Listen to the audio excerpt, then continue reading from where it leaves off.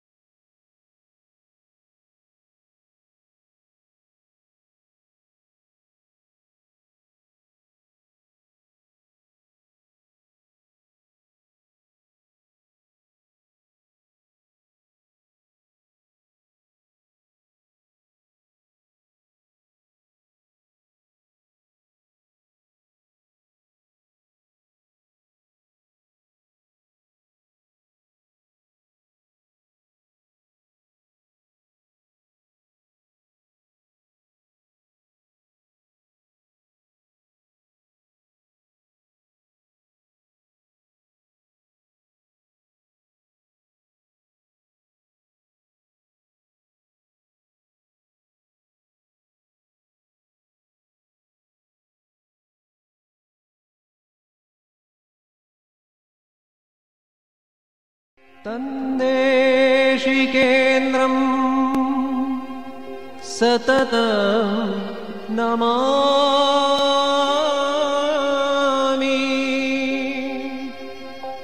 विवेकानन्दं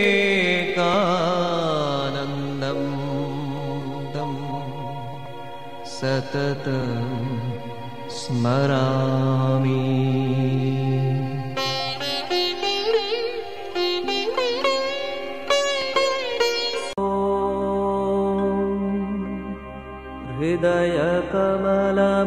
मध्ये राजितं निर्विकल्पम्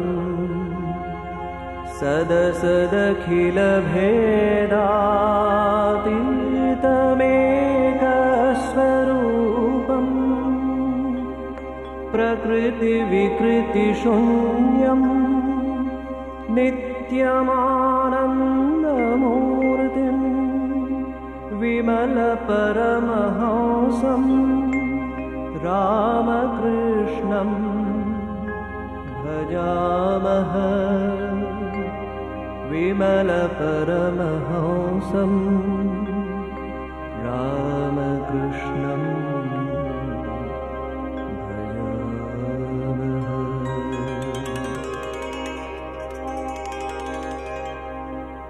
रघुकुलवरमी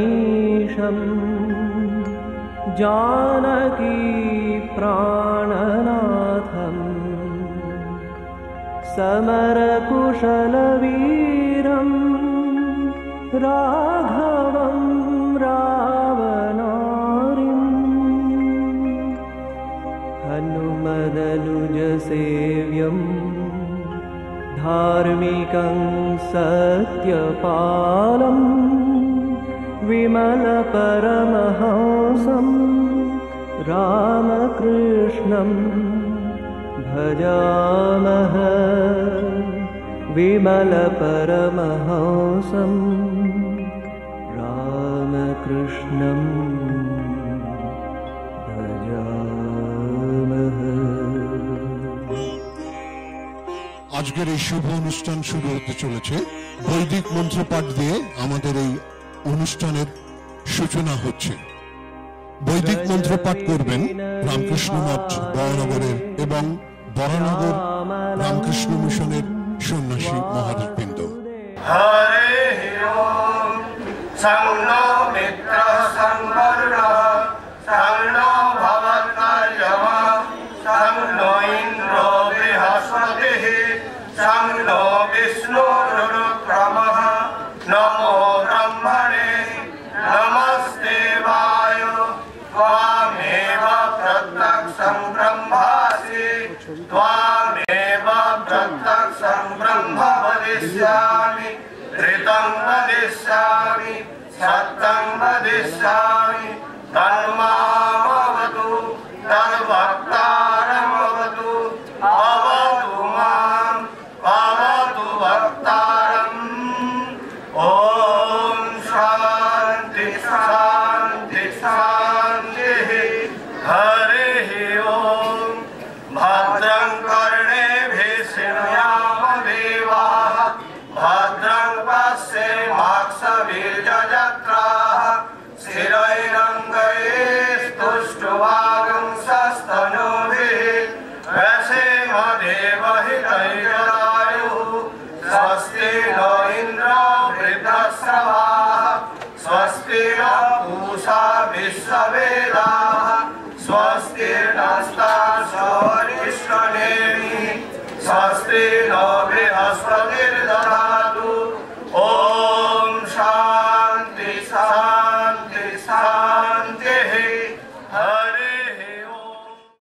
ভগিনী নিবেদিতার একশো পঞ্চাশতম জন্মবর্ষ পূর্তি উপলক্ষে আয়োজিত আজকের এই যুব সম্মেলনে উদ্বোধনী সংগীত পরিবেশন করছেন Ramakrishna Sarada mission sister Nivedita girls স্কুলের ছাত্রীবৃন্দ।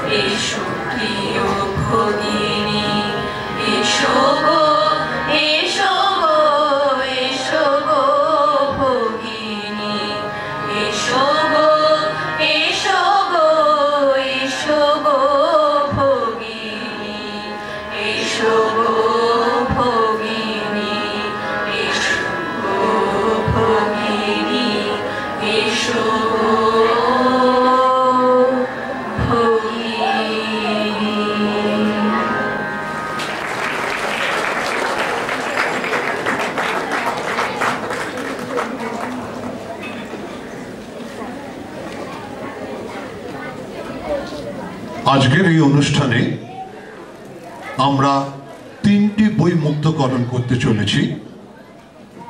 স্মারক এবং তিনটি বইয়ের এই মুক্তকরণ করবেন। প্রথম দুটি বইয়ের মুক্তকরণ করবেন শ্রীমৎ স্বামী সুবীরানন্দজি মহারাজ, সাধারণ সম্পাদক রামকৃষ্ণ মঠ, রামকৃষ্ণ মিশন, বেলুর মঠ। তৃতীয়টি মুক্তকরণ করবেন শ্রীমৎ স্বামী জ্যোতিরূপানন্দজি মহারাজ, প্রধান বেদান্ত সোসাইটি মস্কো, রাশিয়া। বই তিনটির নাম, ডাউন মেমোরিয়ালেন গানগাননের মার্গারেট বিবেকানন্দের নিবেদিতা এবং আমার নিবেদিতা। আমার নিবেদিতা বইটি আমাদের ছোট্ট বন্ধুদের জন্য এবং ছাত্রছাত্রীদের ও অন্যান্য ছোটদের জন্য। মেমেন্টোটি উদ্বোধন করবেন স্বামী জ্ঞান লোকানন্দজি মহারাজ। ওছি রামকৃষ্ণ মঠ রামকৃষ্ণ মিশন বেলুর মঠ এবং সম্পাদক Purulia Vidyapith. Memento, Down memorial ডানগাননের মর্মরেট বিবেকানন্দের নিবেদিতা এবং আমার নিবেদিতা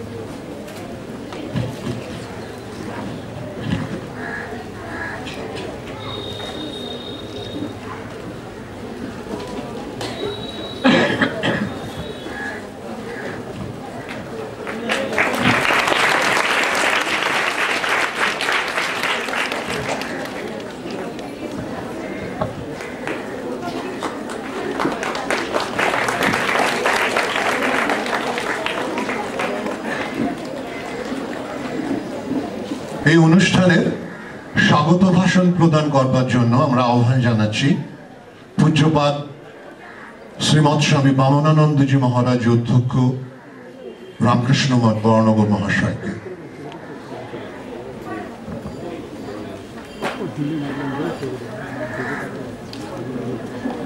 नमः श्रीयतिराजाय विवेकानन्दसूरये स्वच्चिद्सुखस्वरूपाय स्वामिने तापहारिणे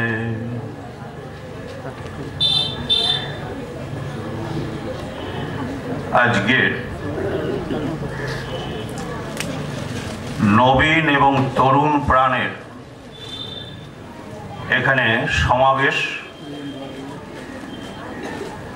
আগামী দিনের সমাজের যারা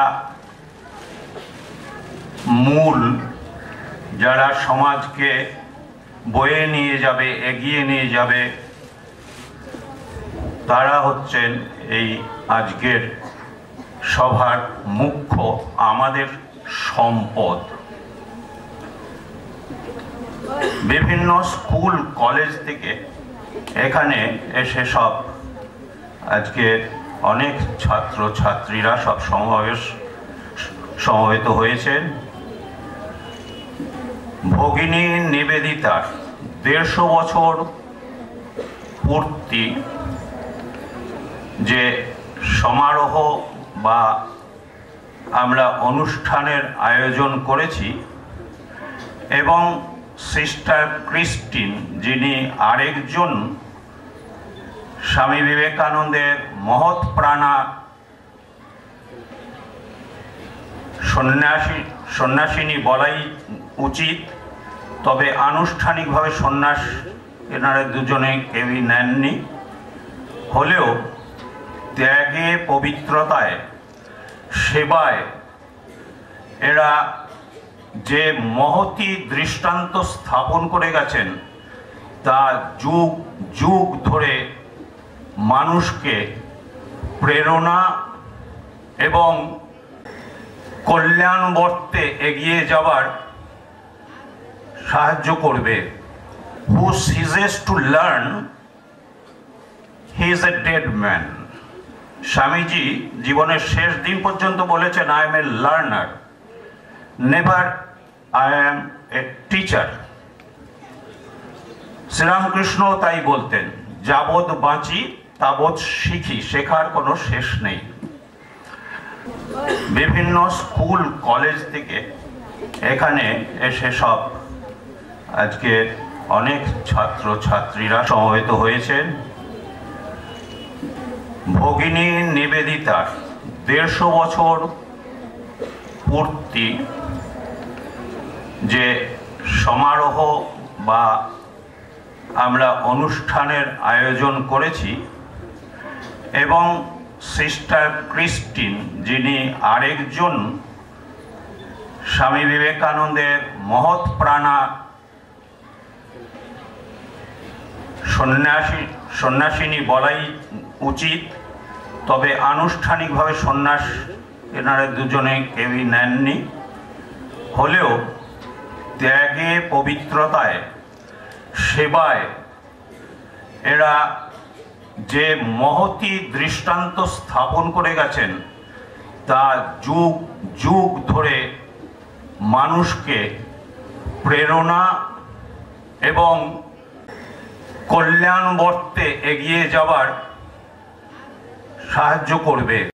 কোন পথে গিয়ে আমি আমার দেশের সেবক হতে পারব? আর আমি একজন এনলাইটেন্ড সিটিজেন হব আনসেলফিশ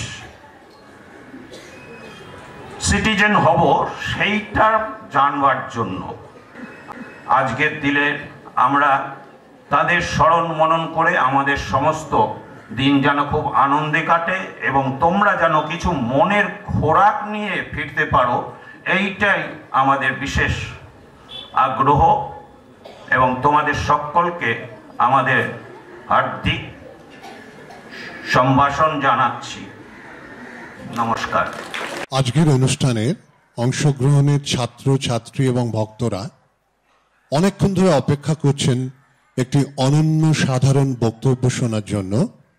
সেই বক্তব্য প্রদান করার জন্য আমরা আহ্বান করব আমাদের পূজ্যপাদ স্বামী সুবীরানন্দজি মহারাজ, সাধারণ সম্পাদক রামকৃষ্ণ মঠ রামকৃষ্ণ মিশন বেলুর মঠ মহাশয়কে। বিবেকানন্দ সুরয়ে সচ্চিৎ সুখ স্বরূপায় স্বামিনে তাপহারিণে। মঞ্চে উপবিষ্ট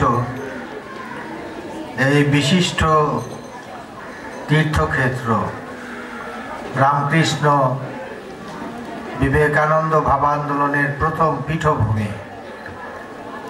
রামকৃষ্ণ মঠ বরানগরের অধ্যক্ষ। পূজনীয় স্বামী বামনানন্দজি মহারাজ এবং রামকৃষ্ণ মঠের উঁচি পরিষদের সদস্য, রামকৃষ্ণ মিশনের পরিচালন সমিতির সদস্য। আমার অনুজ প্রতিম স্বামী জ্ঞানলোকানন্দজি। দর্শক আসনে রয়েছেন পরম পূজনীয় স্বামী অঘোরানন্দজি মহারাজ এবং স্বামী মুক্তিকামানন্দজি মহারাজ। অন্যান্য শ্রদ্ধেয় সন্ন্যাসীবৃন্দ যারা এখানে রয়েছেন, পরম প্রীতিভাজন, স্নেহভাজন ব্রহ্মচারীবৃন্দ এবং এখানে আজ যারা উপস্থিত হয়েছেন নিবেদিতা অনুরাগী মণ্ডলী। স্বামী বিবেকানন্দ সম্পর্কে নিবেদিতা একটা কথা বলেছিলেন। নিবেদিতা বলেছিলেন যে day will come when Swamiji will be lost in oblivion একটি দিন আসবে যখন স্বামীজি বিস্তৃতির অতল গর্ভে বিলীন হয়ে যাবেন। অনেকেই স্বামী বিবেকানন্দকে মনে রাখবে না। তারপরে বলছেন but he will resurrect in is hundred fifty eight কিন্তু স্বামীজির পুনরাবির্ভাব ঘটবে একশো পঞ্চাশ বছর বয়সে। একটা ছোট্ট ঘটনা বলব, অনেক ঘটনা আছে। তার মধ্যে একটি ছোট্ট ঘটনা আমি বলব। সেই ঘটনাটি হচ্ছে যে, নিকারাগোয়াতে তখন ভারতবর্ষে রাজদূত ছিলেন শাশ্বতী মুখোপাধ্যায়। শাশ্বতী মুখোপাধ্যায় কলকাতার মেয়ে, ওর নাম হচ্ছে তোতো। শাশ্বতী মুখোপাধ্যায় আমাদের কাছে একটি চিঠি লিখেছিলেন। চিঠি লিখেছিলেন there are five thousand negroes in Nicaragua their leader has approached me to celebrate hundred fifty of Swami Vivekananda. I have no logistics. If you give me logistic support, I will do it. আমরা logistic support পাঠিয়েছিলাম যে নিকারাগোয়াতে পাঁচ হাজার নিগ্রো আছে নিগ্রোদের নেতা আমার কাছে এসছেন আমাকে অনুরোধ করেছেন ওরা চান স্বামী বিবেকানন্দের একশো পঞ্চাশ বৎসর পূর্তি উদযাপন হোক নিকারাগুয়াতে আমার কাছে তেমন কিছু সম্পদ নেই যা দিয়ে আমি এটি শুরু করতে পারি। আপনারা যদি কিছু আমায় দেন, তাহলে আমি আপনাদের সহায়তা এটা শুরু করতে পারি, এই অনুষ্ঠানটি অনুষ্ঠিত করতে পারি। তাই হয়েছিল নিকারা নিকারাগুয়াতে নিবেদিতার সাথে স্বামীজির প্রথম সাক্ষাৎ আঠেরোশো পঁচানব্বই সালের নভেম্বর মাসে লেডি ইসাবেলের বাড়িতে। স্বামীজি শিকাগো সম্মেলনের পরে ইংল্যান্ডে এসেছেন। লেডি ইসাবেল শুনেছিলেন বিবেকানন্দের কথা। বিবেকানন্দ শুধু বাগ্মী নন, তিনি ঈশ্বর দ্রষ্টা পুরুষ। তাই বিবেকানন্দকে আমন্ত্রণ জানালেন, মার্গারেট নোবেলকেও আমন্ত্রণ জানালেন। ওকে আমন্ত্রণ জানালেন কেন? বিবেকানন্দকে আমন্ত্রণ জানালেন, এটা আমরা বুঝি। কিন্তু মার্গারেট নোবেলকেও কেন ইসাবেল আমন্ত্রণ জানিয়েছিলেন সেদিন? কারণ মার্গারেট তখনই একজন বিশিষ্ট শিক্ষক এবং বুদ্ধিজীবী হিসেবে নিজেকে প্রতিষ্ঠিত করেছেন। মাত্র সতেরো বছর বয়সে তিনি শিক্ষিকার কাজ গ্রহণ করেছিলেন। নিবেদিতা লিখছেন বিবেকানন্দের সাথে তার সাক্ষাৎকার জীবনে একটি সন্ধিক্ষণ। Suppose Swamiji had not come to London, that time life would have been like a headless torso for. বলছেন যে স্বামীজি সে সময় না এলে কি হতো? Life would have been like a headless torso আঠেরোশো আটানব্বই এর এগারোই মার্চ স্থান star theatre, Kolkata star theatre, Ramakrishna মিশনের আনুষ্ঠানিক উদ্বোধন অনুষ্ঠান। সভাপতি স্বামী বিবেকানন্দ, অন্যতম বক্তা নিবেদিতা। সভাপতি নিবেদিতার পরিচয় দিতে গিয়ে বলেছিলেন quote and already England has given us some of our great intellects to help in our mission. And now England has sent us another gift in Miss Margaret Noble, from whom we expect much.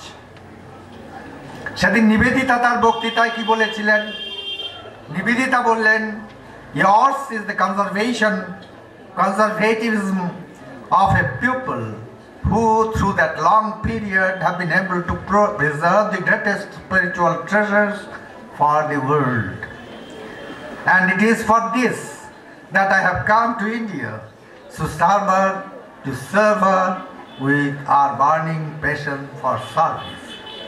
এটি বললেন নিবেদিতা নিবেদিতা বলতেন খুব সুন্দর কথা বলতেন তিনি India is the starting point And the goal as far as I am concerned. Let her look after the west if she wishes. Nivedita অনেক সুচিন্তিত প্রবন্ধ লিখেছেন নারী শিক্ষার উপরে। তার মধ্যে নিম্নলিখিত প্রবন্ধগুলো উল্লেখযোগ্য। এক নম্বর দি এডুকেশন অফ ওমেন দু নম্বর modern education of oriental women তিন নম্বর ওমেন অ্যান্ড দি আর্টস চার নম্বর hints on national education in India. এখন প্রশ্ন হলো, নিবেদিতাই কি প্রথম ভারতবর্ষে নারী শিক্ষার কথা ভেবেছেন? তা নয়। স্বামীজি ভেবেছেনই। তাছাড়া ভেবেছেন রামমোহন রায় কেশবচন্দ্র সেন, ডিরিজিও ঈশ্বরচন্দ্র বিদ্যাসাগর। তারা মেয়েদের জন্য স্কুল পর্যন্ত করেছেন। বেথুন সাহেবও শিক্ষা প্রতিষ্ঠান স্থাপন করেছেন মেয়েদের জন্য। কিন্তু রামকৃষ্ণ বিবেকানন্দের নিবেদিতার সাথে এদের মৌলিক পার্থক্যটা কোথায়? এরা এই স্কুলগুলো জন্ম দিয়েছে একটি নব শ্রেণির। এর নাম ছিল নিউ উইমেন। এই নব শ্রেণির ভেতরে তারা ভুল করে সিংহ পুরুষকে অন্বেষণ করেছেন মায়ের ভেতরে। কিন্তু সমকালীন নারীর ভেতরে নিবেদিতা অন্বেষণ করেছিলেন এক মহত্তমা নারীর। পরীক্ষামূলকভাবে প্রতিষ্ঠা করলেন রামকৃষ্ণ বালিকা বিদ্যালয়। বর্তমান ভগিনী নিবেদিতা বিদ্যালয় সেই ঐতিহ্যের ধারক এবং বাহক। কিন্তু নিবেদিতা যে শিক্ষা দিলেন, সেটি হলো সৃজনশীল জ্ঞান, আত্মগঠন ও আত্মনির্ভরতা শিক্ষা। নিবেদিতা স্বনির্ভরতার শিক্ষা, চরিত্র গঠনের শিক্ষা, যে শিক্ষা মানুষকে তোতা পাখি বানায় না, যে শিক্ষা মানুষকে মনুষ্যত্বের থেকে দেবত্বে উত্তীর্ণ করে। তারই পরাকাষ্ঠা নিবেদিতা বালিকা বিদ্যালয়, যা প্রথমে ছিল রামকৃষ্ণ বালিকা বিদ্যালয়। নিবেদিতা দর্শনের উৎসস্থল কিন্তু রামকৃষ্ণ বিবেকানন্দ। স্বামীজি নিবেদিতাকে লিখছেন, যদি রামকৃষ্ণ সত্য হন, তবে যেমনভাবে তিনি আমাকে জীবনে পথ দেখিয়েছেন, ঠিক তেমনিভাবে কিংবা তার সহস্রগুণ স্পষ্টভাবে তোমাকেও যেন পথ দেখিয়ে দিয়ে যান। নিবেদিতা ছিলেন নবজাগরণের ভোরের পাখি, তাই তিনি জানতেন সূর্যোদয় আসন্ন।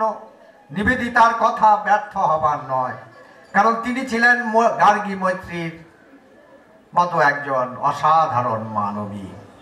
শেলি ব্রাউন লিখছেন quote unquote this invisible and vibrant personality was worshipped by her students at Nivedita school where everything according to her suggestion even when she was away her presence sin or unseen set the tune which created a new generation of piousness out of the reverent young women who were molded by her strength and tender regard unquote আমরা তাই দেখি স্বামী বিবেকানন্দ নিবেদিতার ভিতরে জগৎ আলোড়নকারী শক্তিকে দেখতে পেয়েছিলেন নিবেদিতার মহাপ্রয়াণের পর অমরেন্দ্রনাথ ঠাকুর E B হ্যাবেলকে লিখেছিলেন it will be hard to find an other like her again নিবেদিতার শিক্ষার সাথে সাথে নান্দনিক শিল্পকে যুক্ত করেছিলেন।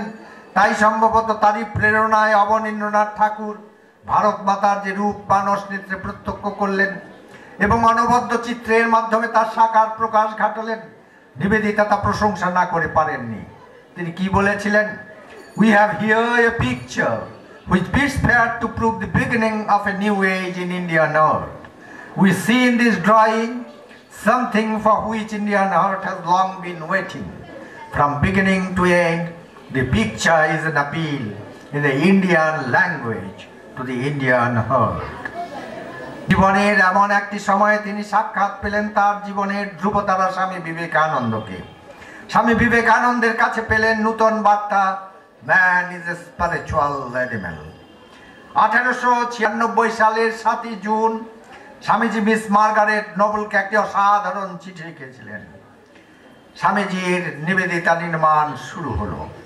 এই চিঠির মধ্যে নিজেকে তিনি যেমন উন্মোচিত করেছেন, তেমনি এক বলিষ্ঠ প্রত্যয়ের ঘোষণা করেছেন নিবেদিতার উদ্দেশ্যে, যিনি ভাবিকালের ভারতবর্ষের ভেরিটেবল লাইফ ওয়ার স্বামীজি নিবেদিতাকে লিখেছেন my ideal indeed can be put into a few words and that is quote and unquote to preach unto mankind their divinity and how to make it manifest in every moment of life সেই চিঠিতে এই London থেকে তিনি লিখছেন quote it is no superstition with you I am sure you have the making in you of world mover and others also will come unquote তারপরে আহ্বান করছেন awake awake great ones the world is burning with misery. Can you sleep?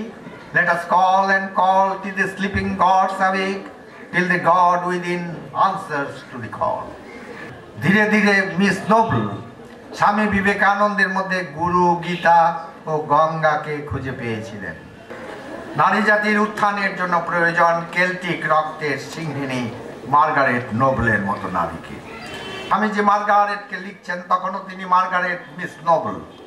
Miss Margaret Noble Swami বিবেকানন্দের কাছে। তিনি লিখছেন Lord bless you for your great self sacrifice for the poor Indians. Almora থেকে পঁচিশে July আঠারোশো সাতানব্বই Swamiji Miss Mary হলস্টারকে হলবয়েস্টারকে লিখছেন Quote, do you know Miss Margaret Noble of Wimbledon? She's working hard for me. Correspond with her if you can. And you can help me a good deal there. Her address is Brantwood, Warple Road, Wimbledon. Unquote. ভারতে আসার আগে miss Nobel তার সর্বস্ব সঁপেছেন তার গুরু রাতুল চরণে আর তার সেই গুরু ছিলেন ভারত কল্যাণের প্রতিমূর্তি আঠেরোশো সাতানব্বই এর উনত্রিশে জুলাই স্বামীজি নিবেদিতাকে লিখছেন আবার Let me tell you frankly that I am now convinced that you have a great future in the work of India. What was wanted was not a man, but a woman, a real lioness to work for the Indians, women especially. সেই চিঠিতেই তিনি লিখছেন India cannot yet produce great women Swamiji বলছেন পরাধীন ভারতবর্ষের মাটিতে দাঁড়িয়ে India cannot produce yet great women She must borrow them from other nations. Your education, sincerity, purity, immense love, determination, and above all, the Celtic blood that make you just the woman wanted. মার্গাটকে উৎসাহ দেওয়ার সাথে সাথে ভারতবর্ষের কাজের নেতিবাচক দিনগুলো দিকগুলো সম্পর্কেও অবগত করাতে স্বামীজি ফোলেননি। স্বামীজি লিখছেন not one European comfort is to be had in places out of the cities Margaret তুমি অর্ধনগ্ন নররানীর দলকে দেখতে পাবে। তুমি দেখতে পাবে জাতিভেদ প্রথা যা সমাজের পক্ষে ভয়ঙ্কর। শ্বেতাঙ্গরা ওদের ঘৃণা করে। ওরাও সাদা চামড়ার লোকদের ভয় বা ঘৃণা করে। তোমার প্রতিটি পদক্ষেপকে সন্দেহের চোখে দেখবে ওরা। বলছেন if in spite of all this you dare venture into the world you are welcome a hundred times welcome এরপর স্বামীজি সতর্কবাণী উচ্চারণ করে লিখছেন you must think well before you plunge in and after work if you fail in this or disgusted or my part I promise you Swamiji সেদিন কি promise করেছিলেন কি প্রতিশ্রুতি দিয়েছিলেন I will stand by you unto death you work for India or not, whether you give up Vedanta or remain in it. I promise you that. এ ধরনের বলিষ্ঠ প্রতিশ্রুতি এত স্পষ্টভাবে কোনো গুরু কোনো শিষ্যাকে দিয়েছেন বলে পৃথিবীর ইতিহাসে আমাদের জানা নেই ভাবলে অবাক হতে হয় স্বামীজি নোবেলের প্রতি কি প্রগাঢ় বিশ্বাস, কি খুব গভীর প্রত্যয় ছিল। আশ্চর্য বক্তা, কুশলেশ্ব লব্ধা, আশ্চর্য জ্ঞাতা কুশলানুশিষ্টা স্বামী বিবেকানন্দ ছিলেন এরূপ আচার্য, আর মার্গট ছিলেন এরূপ শিষ্যা। স্বামীজি কাশ্মীর থেকে আঠারোশো সাতানব্বই সালের পয়লা অক্টোবর শিষ্যাকে একটি চিঠি লিখছেন।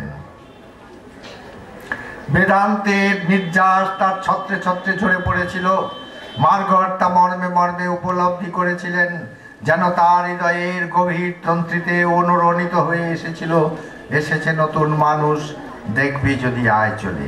এই নতুন মানুষটি গিরি গুহা কন্দরে ধ্যানমগ্ন হতে বলেন না। বলেন, বহুরূপে সম্মুখে তোমা, ছাড়ি কথা খুঁজিছ ঈশ্বর। জীবে প্রেম করে যেই জন সেই জন সেবিছে ঈশ্বর স্বামীজি তাই মার্গটকে লিখছেন The ignorant see the person in the non-person. The sages sees the non-person in the person. Through pain and pleasure, joy and sorrow. This is the one lesson we are learning every day. আমেরিকার ইসলি manor থেকে বিষণ্ণ মার্গটকে লিখছেন It seems there is a gloom over your mind. Never mind, nothing is to last forever. আঠেরোশো নিরানব্বই খ্রিস্টাব্দের আগেই Margot নিবেদিতাতে উত্তরিত হয়েছেন কিন্তু আঠারোশো নিরানব্বই খ্রিস্টাব্দের ছয়ই ডিসেম্বর লস অ্যাঞ্জেলস থেকে তিনি একটি চিঠি লিখছেন নিবেদিতাকে মার্গট বলেই সম্বোধন করছেন লিখছেন come ye are heavily laden and lay all your burden on me and then do whatever you like and be happy এই আহ্বান এই চিরন্তন আহ্বান নিবেদিতার প্রতি আহ্বান নিবেদিতার মাধ্যমে সকলকে আহ্বান সর্বধর্মান পরিত্যজ্য মামেকং শরণম ব্রজ আঠেরোশো আটানব্বই খ্রিস্টাব্দের সতেরোই মার্চ শ্রীমা সারদা দেবীর প্রথম দর্শন লাভ করে তার অপার্থিব ভালোবাসার স্পর্শে আত্মহরা হলেন নিবেদিতা।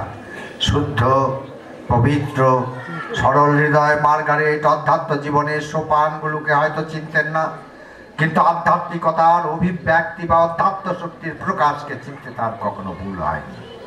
পঁচিশ মার্চ মার্গারেট ব্রহ্মচর্যবতে দীক্ষিত হয়ে নিবেদিতা নামে অভিহিত হয়ে প্রকৃত প্রেরণাদাত্রীর ভূমিকায় আবির্ভূত হলেন। আলমোড়ায় স্বামী স্বরূপানন্দের ব্যবস্থাপনায় যে ধ্যানাভ্যাস শুরু করেছিলেন, তা জীবন সার্থকভাবে বজায় রেখেছিলেন নিবেদিতা। অধ্যাত্ম জীবনে নিবেদিতার পথ প্রদর্শক স্বামীজি, তাই তিনি মাতৃ উপাসনা বা কালী উপাসনার মর্ম উপলব্ধি করতে স্বামীজি সাহায্য নিয়েছিলেন। স্বামীজি ক্ষীর ভবানী থেকে প্রত্যাবর্তন করেছিলেন, মায়ের ভাবে পরিপূর্ণ হয়ে, আর সেই ভাব সঞ্চারিত হয়েছিল নিবেদিতার মধ্যে। দ্বিতীয়বার মার্কিন দেশে স্বামীজি যখন গিয়েছিলেন, তখন নিবেদিতা ওর সঙ্গে যান। রিজলি ম্যানরে থাকাকালীন আঠেরোশো নিরানব্বই খ্রিস্টাব্দে পাঁচই নভেম্বর সারা বুলকে দুটি গেরুয়া চাদর প্রদান করে স্বামীজি নিবেদিতা ও সারার মাথায় হাত রেখে আশীর্বাদ করে বলেছিলেন, রাম কৃষ্ণ পরমহংস যা আমায় দিয়েছিলেন, সে সমস্ত আজ তোমাদের দিলুম। একজন নারীর কাছ থেকে আমাদের নিকট যাই এসেছিল, দুজন নারীকে আস্থা দিচ্ছি, তোমরা এ দিয়ে যা পারো করো।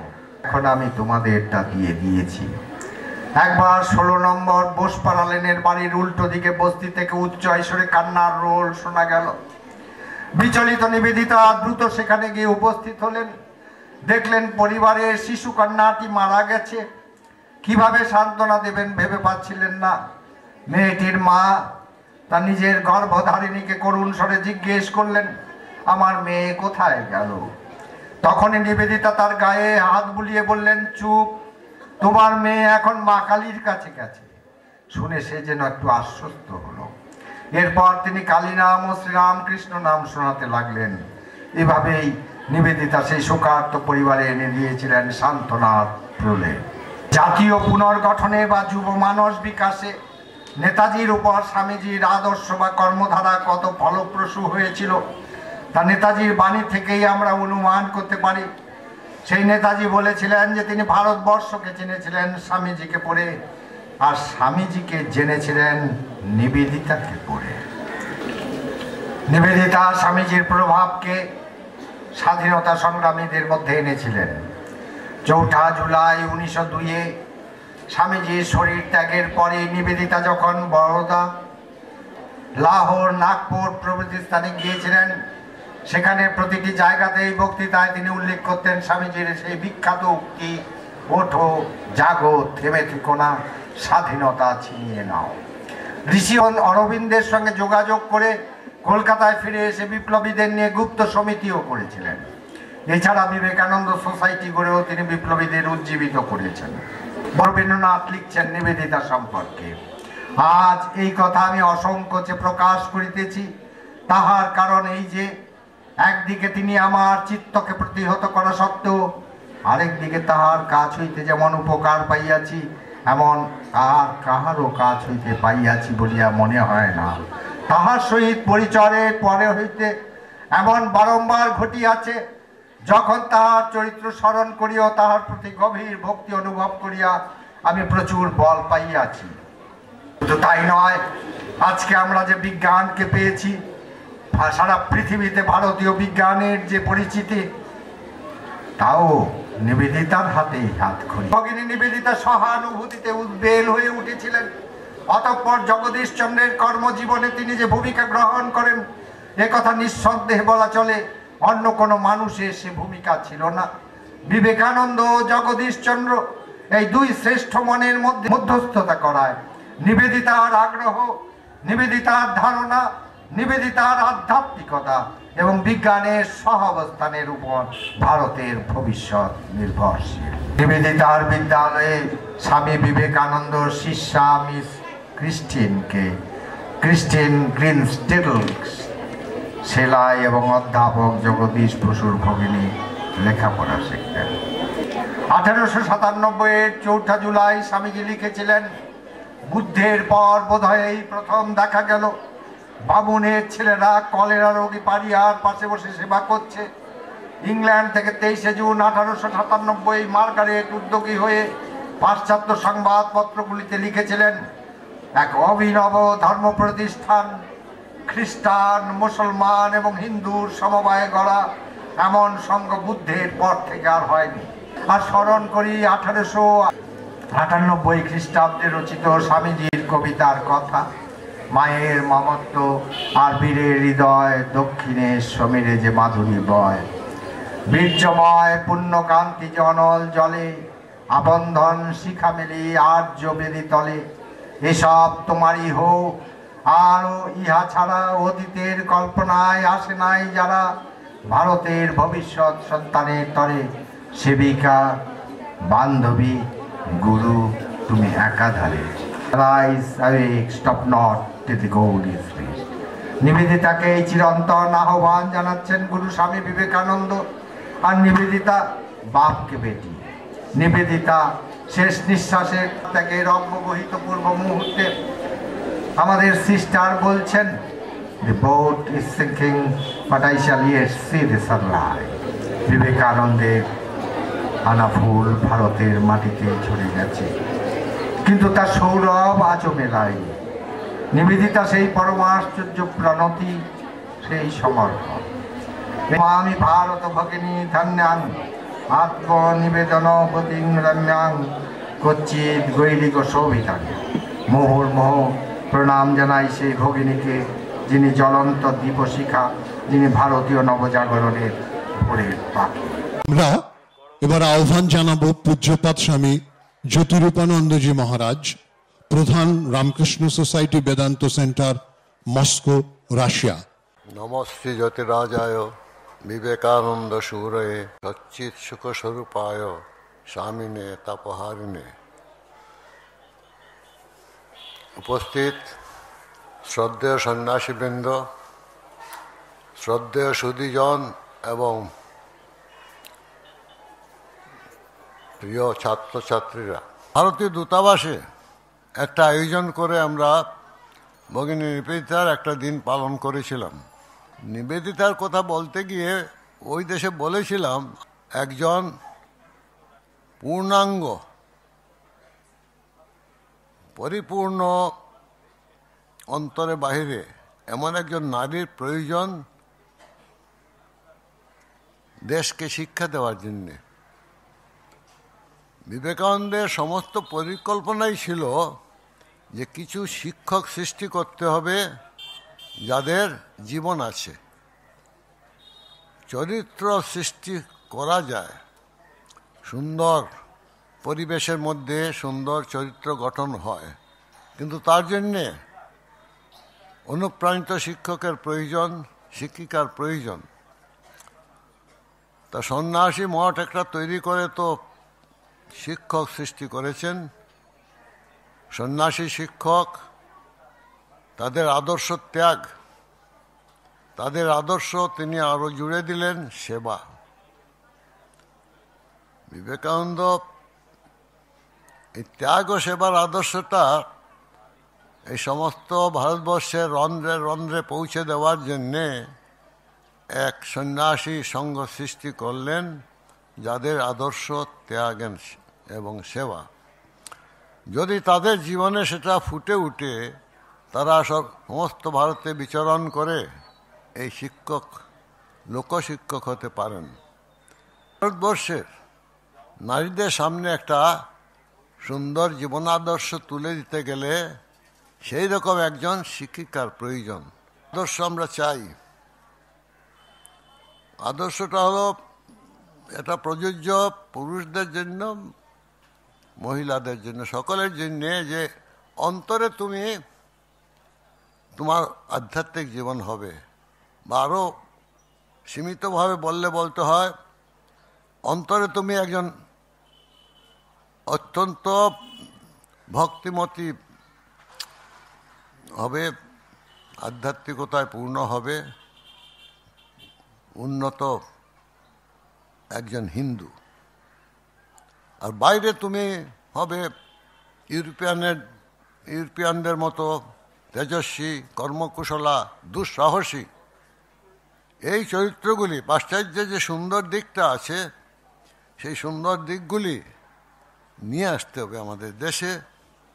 এই প্রাচ্য পাশ্চাত্যের সম্মেলনে একটা সুন্দর নারী শক্তি গড়ে উঠবে। এতে শুধু ভারতবর্ষ উপকৃত হবে না, সমস্ত জগতের সামনে একটা আদর্শ থেকে যাবে।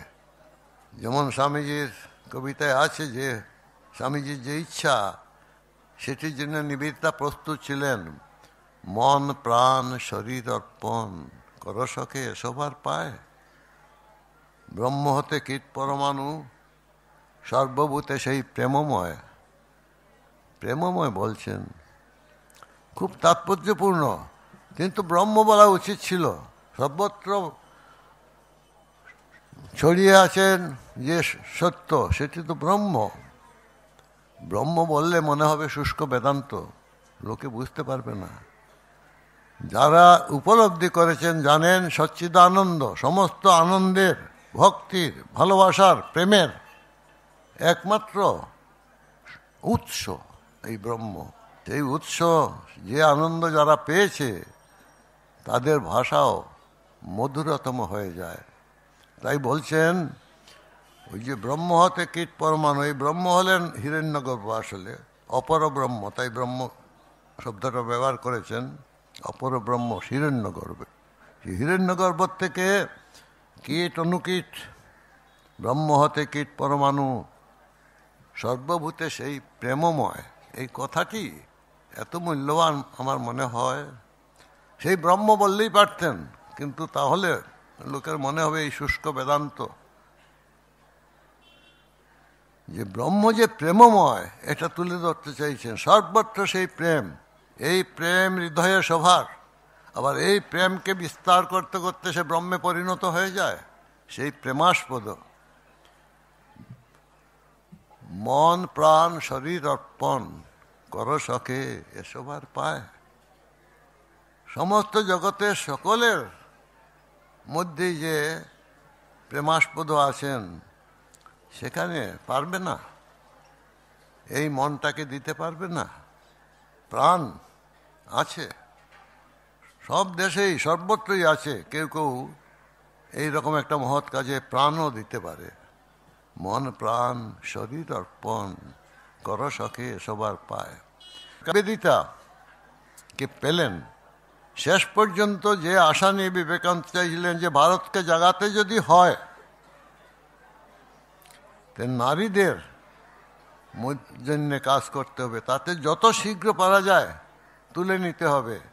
এমন সব কথা বলেছেন, আগে কেউ কোনো দিন এরকম কথা বলেনি। যে একটা, যে পুরুষেরা যদি উন্নতির জন্য কাজে নেমে পড়ে, তাহলে যদি তাদের পঞ্চাশ বছর লাগে, এই নারী, উপযুক্ত নারী, তারা পাঁচ বছরে সেটি সম্পন্ন করে দিতে পারে। কালকে বেলুমঠে একটা কথা বলতে গিয়ে একটা দৃষ্টান্ত দিয়েছিলাম।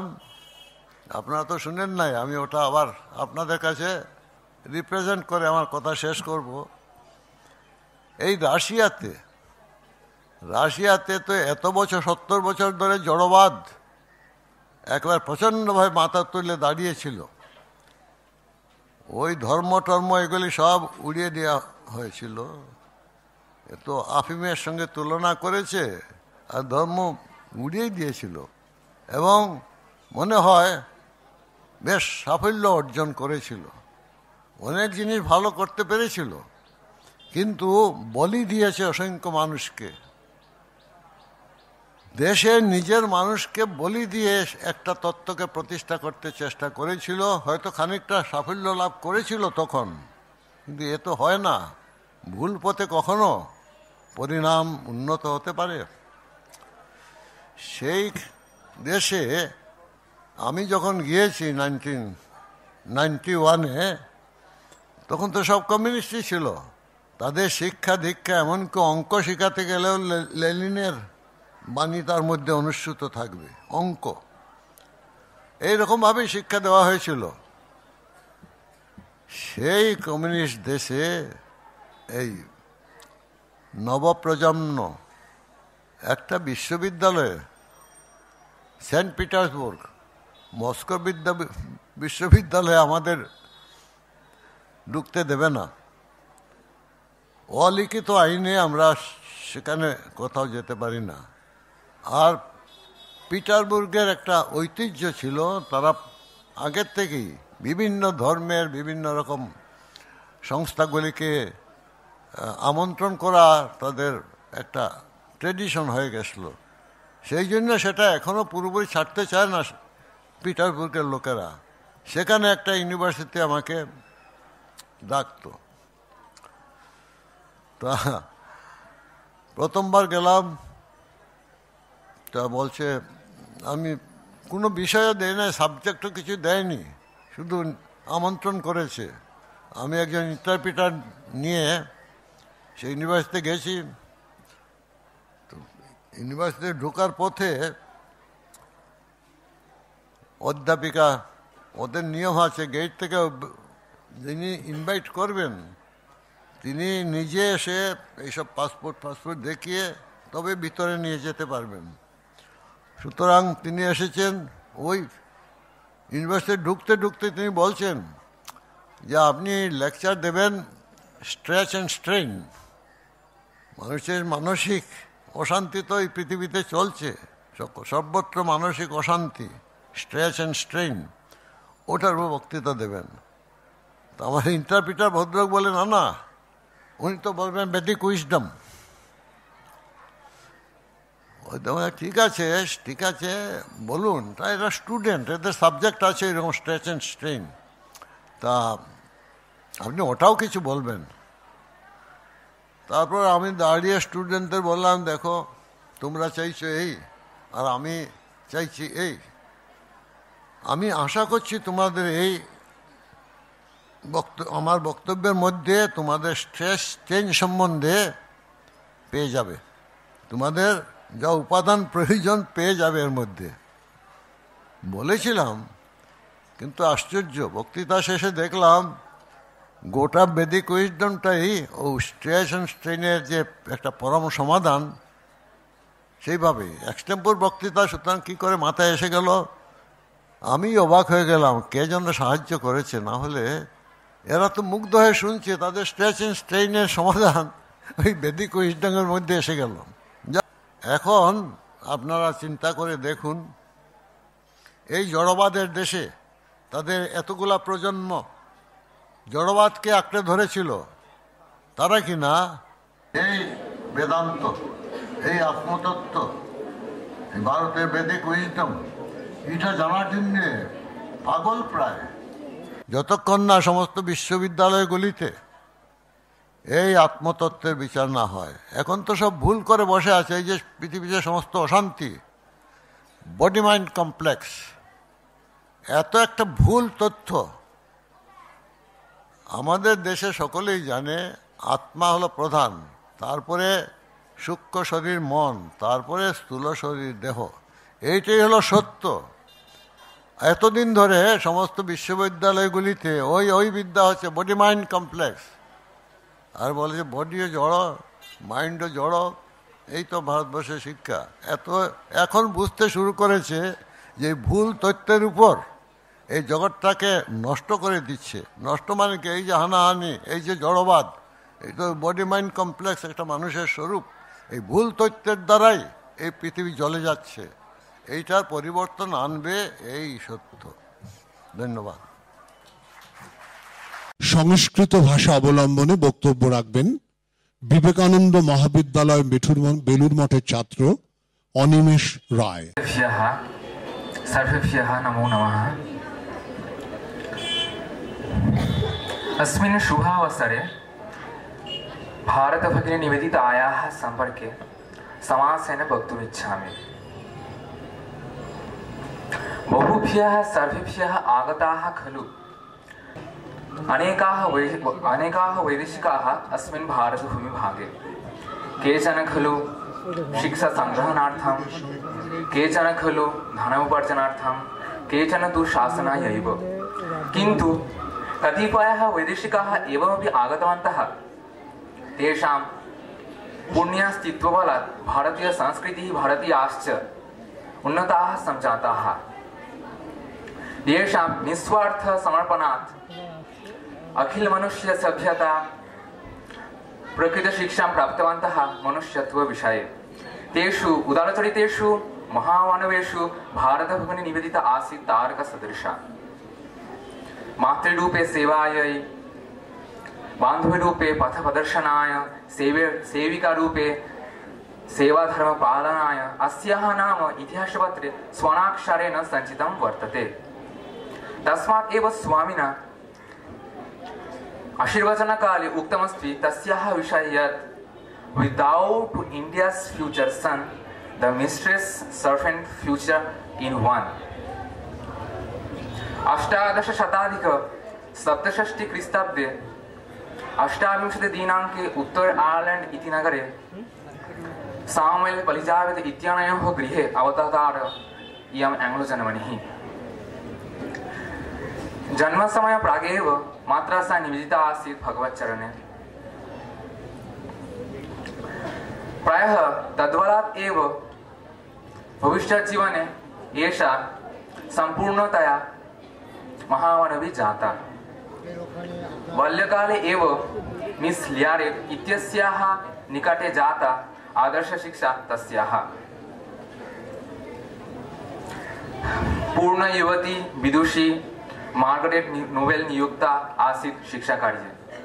शिक्षयित्रीपदे नियुक्ता शिक्षयित्रीपदे नियुक्तसमये तस्याः लक्ष्यम् आसीत् छात्राणां सम्पूर्णविकासः अपि च फ्री आयर्लेण्ड् इत्यस्याः वैप्लविकसम्प्रदायस्य कृते राष्ट्रस्वाधीनतायै महती प्रचेष्टा कृता अनया अपि च परिवारस्य सुरक्षा विषयेपि तस्याः सर्वदा चिन्ता आसीत्। परन्तु तस्याः पितुः मृत्युकाले वचनमासीत् तस्याः प्रति यत् ईश्वरः यदा ताम् आह्वयिष्यति तदा रोधं मा प्रदर्शयतु। जन्म बृहत् इति। आगतं च तत् आह्वानं स एव भोगावादीन्मुख पाश्चात्यदेशः एकस्य युगपुरुषस्य दर्शनं कृतवान् विवेक स्वामी विवेकानन्द अष्टादशशतपञ्चनवतिख्रीष्टाब्दे भारतभूमौ अवततार प्रपञ्चाकुलभाषणेन स्वकीयव्यक्तित्वचारुताद्वारा मोहितं कृतवान् समस्तं भूमण्डलं स्वामिनः दर्शनेन तस्य ज्ञानावशात्।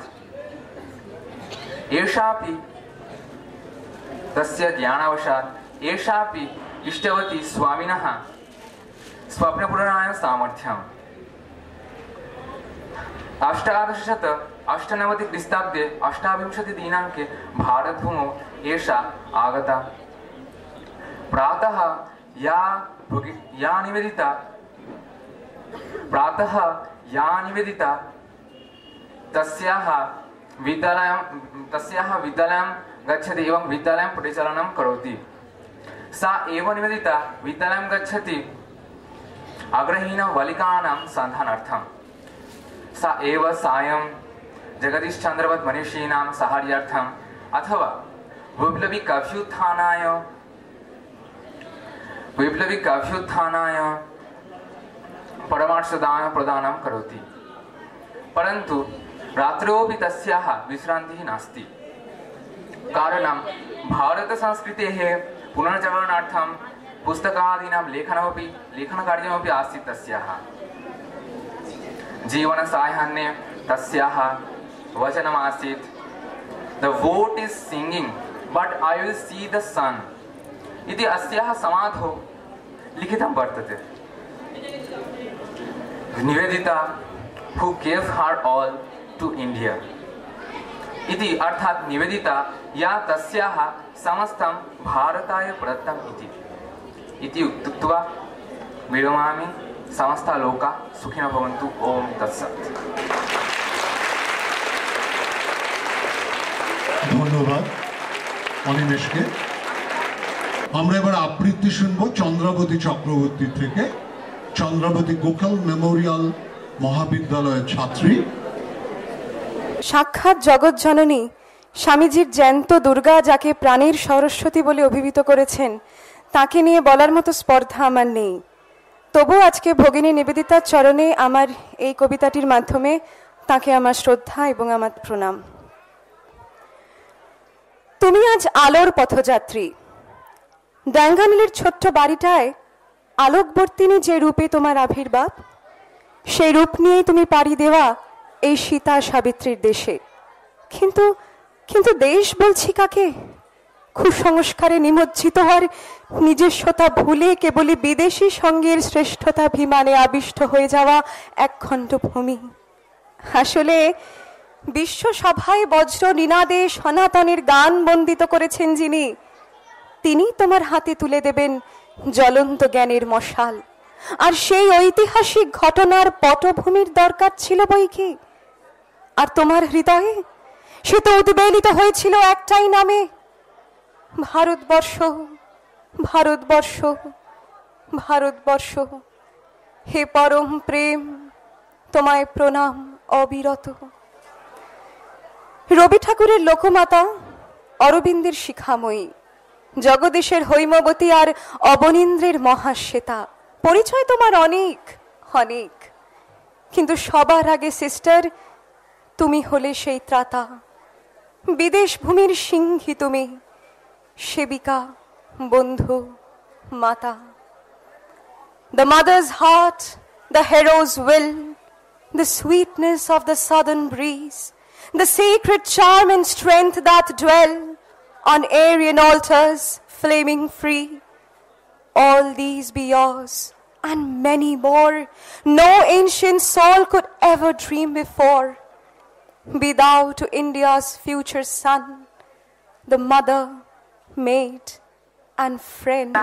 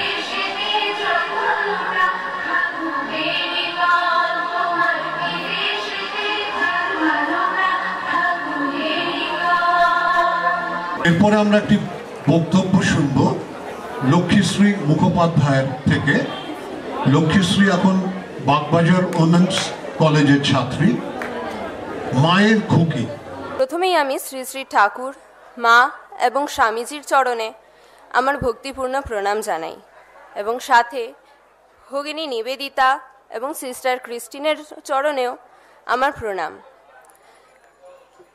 আজকের এই বিশেষ দিনে আমার বক্তব্যের বিষয়টি হল শ্রী শ্রী মায়ের আদরের খুকি।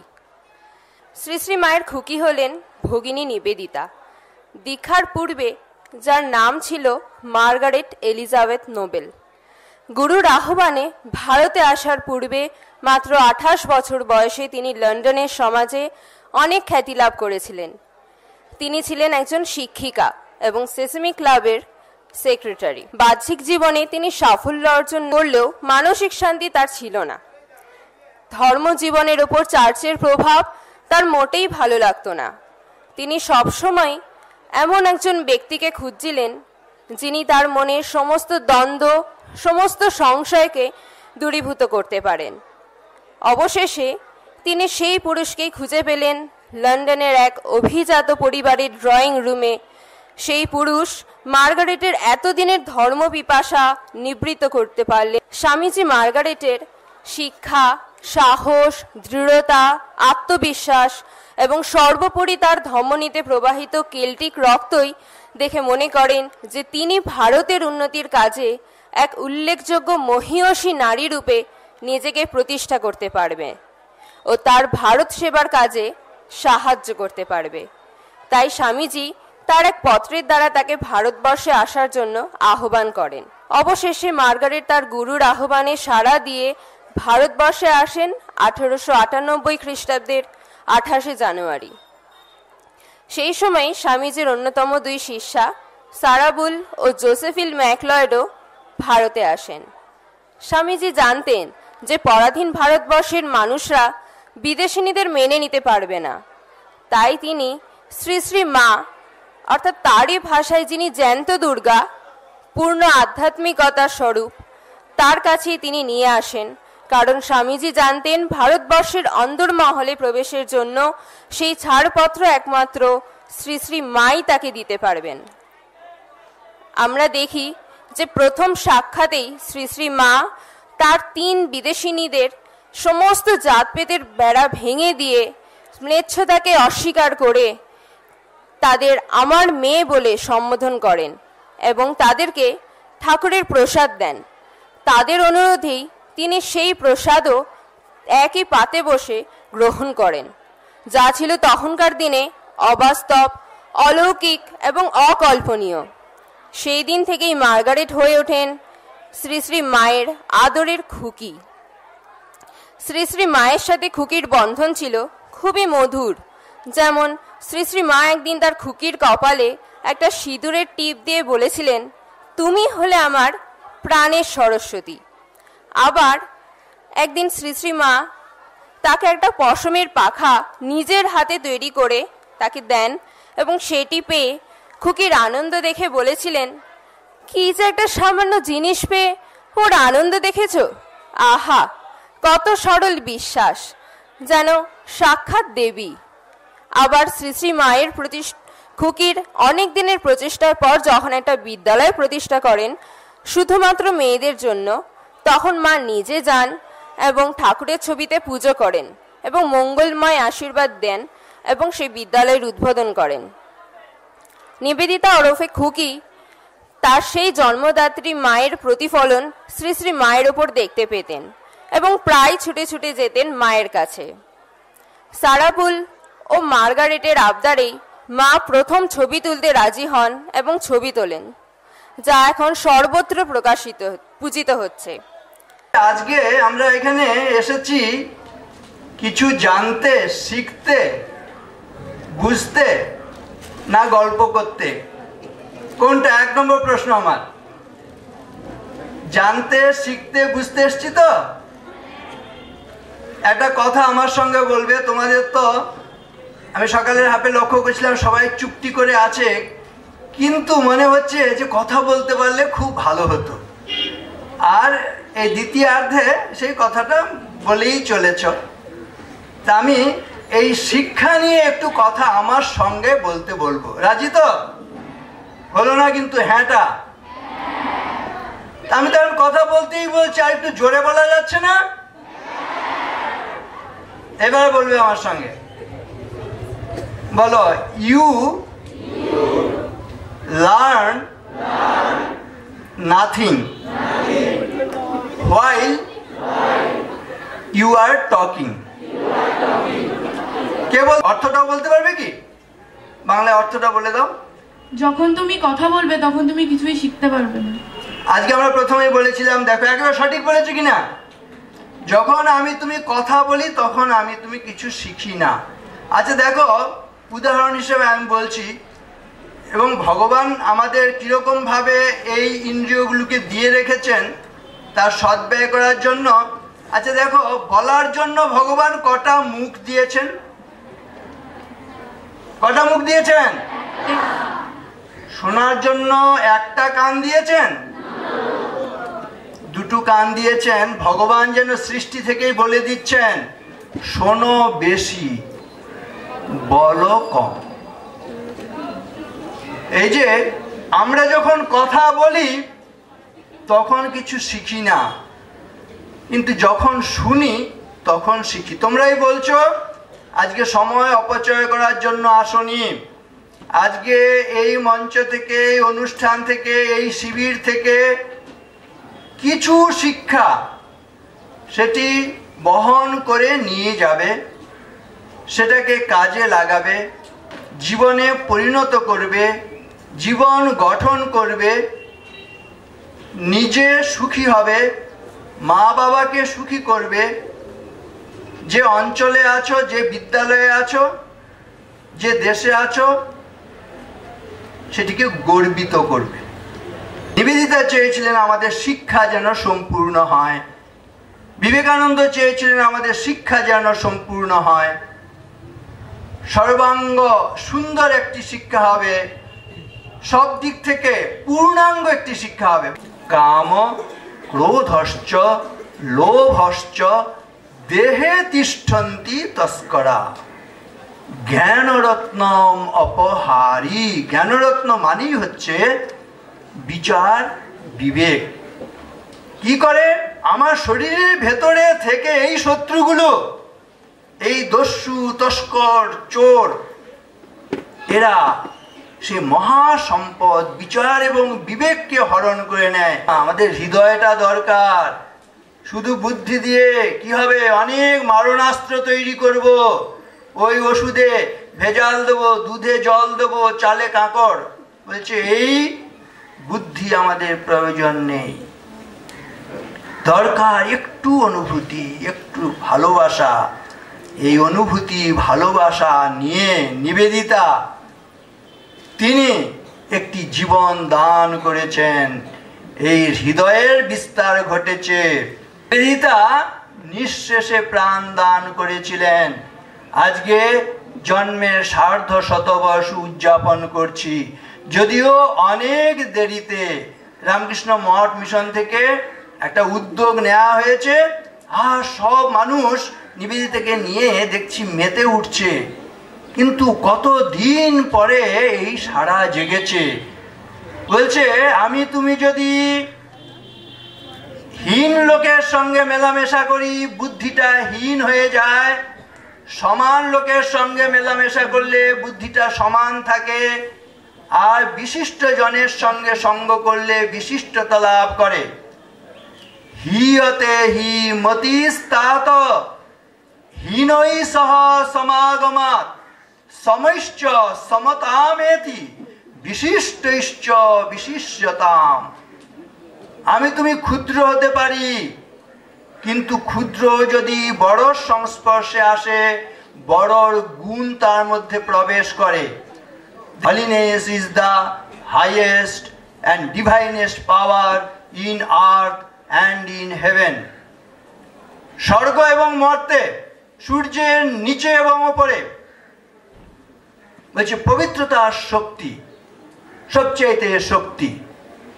আমাদের দেশে আমাদের মায়েরা, আমি বলব সেই বজ্র, রাষ্ট্রস্য সুদৃঢ় শক্তি, সমাজস্য চ ধারিণী, ভারতে সংস্কৃতে নারী, মাতা নারায়ণী সদা।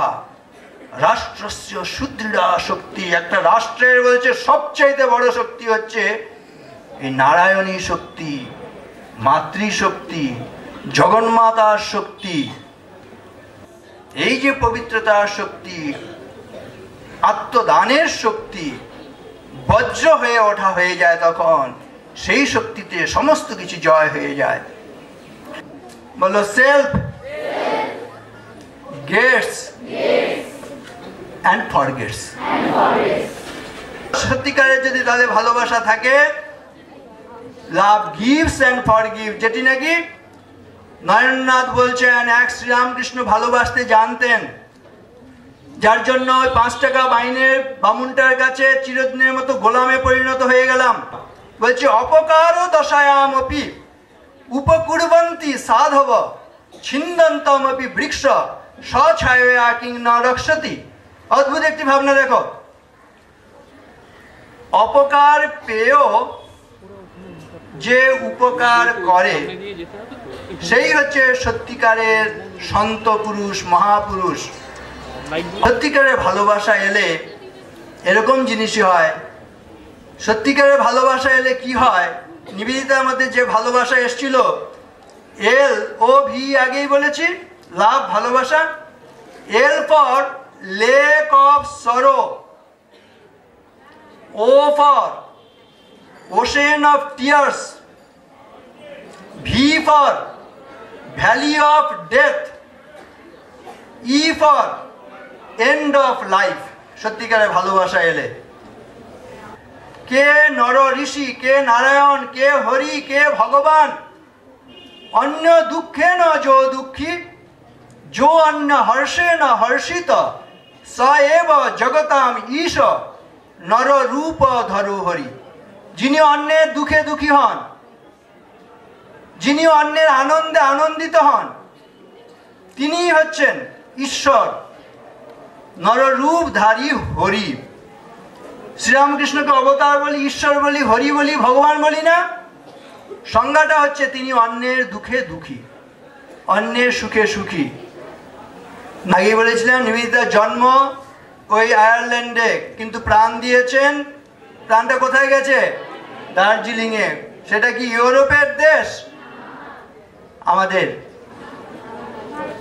পশ্চিমবঙ্গেই, ঠিক আছে? দার্জিলিংয়ে তার শরীর গেছে। কিন্তু একটি কীরকম জীবন হবে? বলছে, কোন জীবনটা সফল? একটা প্রার্থনা করো। সত্যি জীবনের সাফল্য চাও কিনা? বলো একটা প্রার্থনা। খুব মন প্রাণ দিয়ে, যে যতই প্রার্থনা মন প্রাণ দিয়ে করবে, তার মধ্যে সেই শক্তি আসবে। একসময় বলবে, প্রত্যেকটা অনুভব করার চেষ্টা করবে। বলো জীবনে যাবৎ আদানম স্যাৎ প্রদানম ততোধিকম ইত্যেষা প্রার্থনা अस्माकम আমরা যা গ্রহণ করি, তার চাইতে বেশি ফেরত দিয়ে যেতে পারি, সে জীবনটা সার্থক হয়, সফল হয়, এতে কোনো সন্দেহ নেই। নিবেদিতার জীবন তার হচ্ছে প্রকৃষ্ট উদাহরণ, স্বামীজির জীবন প্রকৃষ্ট উদাহরণ। তারা যা নিয়েছেন, তার চাইতে অনেক গুণ বেশি ফেরত দিয়েছেন। যে কোনো মহাপুরুষের জীবন দেখো। আর কি কি বললাম, এটাকে অনুভবে নিয়ে আসতে বলব। ওই যে প্রদীপ প্রজ্বলন করেছিলাম প্রদীপের কাছে কি প্রার্থনা জানানো হয়? কি স্বস্তি শ্রদ্ধা আমাদের প্রত্যেকের মধ্যে সেই স্বস্তি দাও। কোনো যেন উত্তেজনা, অস্থিরতা আমাদের গ্রাস না করে। শ্রদ্ধা দাও। সেই শ্রদ্ধা মানে শুধু অন্যকে শ্রদ্ধা, বড়দের শ্রদ্ধা নয়, আত্মশ্রদ্ধা। আমি মানুষে জন্মেছি, আমি মানুষের কাজ করছি তো। যে প্রত্যহম প্রত্যবেক্ষেত নরশ্চরিতমাত্মন। কিন্নু মে পশুভি তুল্যম, কিন্নু সৎপুরুষের আমি তুমি ঈশ্বর, আল্লাহ ভগবানের আশীর্বাদে মানুষের জীবন লাভ করেছি, কিন্তু অনেকেই মানুষের জীবন যাপন করি না। একদিন পশুর জীবন যাপন করতে করতে পশুর মৃত্যুবরণ করি। ঈশ্বর, আল্লাহ ভগবানের আশীর্বাদে যে মানুষে জন্মায় আর মানুষের মৃত্যুবরণ করতে পারে না, তার চাইতে হতভাগা, দুর্ভাগা জগতে কেউ আছে? সেজন্য বলছে, এই আত্মশ্রদ্ধা আমার দ্বারা যেন পশুর কাজ না হয়। পশুর কাজ হলে ওই হিংসা হত্যায় ভরে যাবে। যেন স্বস্তি শ্রদ্ধাম, শ্রদ্ধা, আত্মশ্রদ্ধা, যশ প্রজ্ঞাম। এই যশ আসুক প্রজ্ঞা আসুক এগুলো হচ্ছে সত্যিকারের শক্তি। স্বস্তি শ্রদ্ধাম, এগুলো একেবারে অনুভবে নিয়ে আসতে হবে। স্বস্তি শ্রদ্ধাম, যশ প্রজ্ঞাম, বিদ্যাম, বুদ্ধিম, শ্রিয়ম, বলম। আমাকে বিদ্যা, সত্যিকারের বিদ্যা দান করো। বুদ্ধি সৎ বুদ্ধি দান করো। শ্রিয়ম, আমাকে শ্রী, ঐশ্বর্য, সম্পদ শ্রী সম্পদ ভূমাস্পদ এতে ভূষিত করো। বিদ্যাম বুদ্ধিম শ্রিয়ম বলম আমাকে শক্তি দাও, দুর্বলতা দূর করো। হে গৌরীনাথ, হে জগদম্বে, আমায় মনুষ্যত্ব দাও। কান্তিম স্মৃতিম জ্ঞানম আরোগ্যম চাপি সন্ততিম যা ইচ্ছতি মহদ্ধর্মম ব্রহ্মচর্যম সমাচরেত নিবেদিতা ব্রহ্মচারিণী, তাই তো? ব্রহ্মচর্য ব্রত দীক্ষা দিয়েছিলেন স্বামীজি।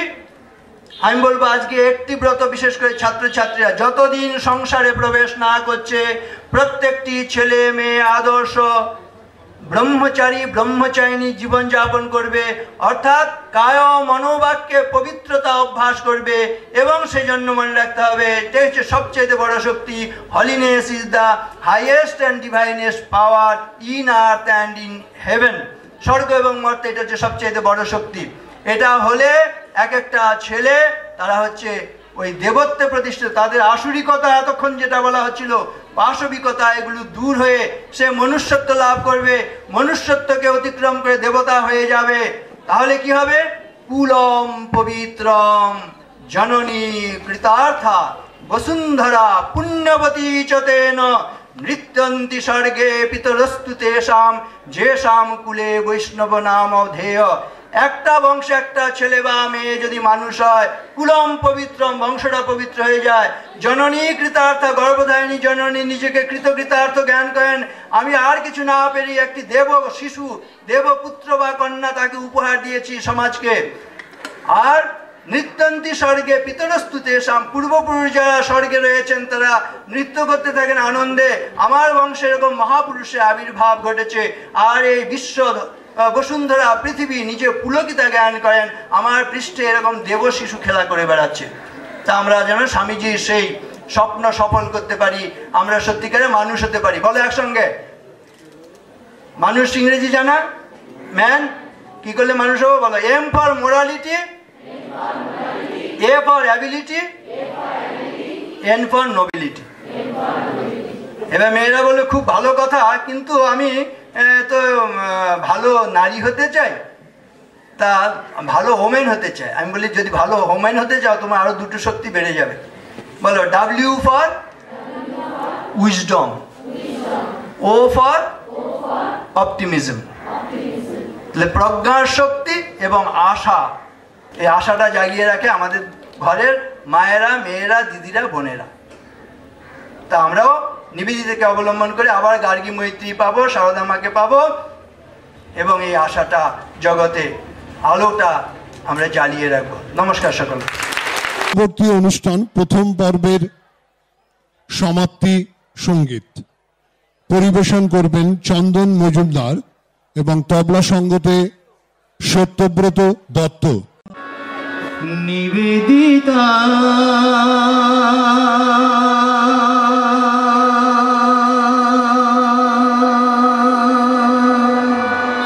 নিবেদিতা তুমি বিবেক দুহিতা সারদা মায়ের প্রাণের সরস্বতী।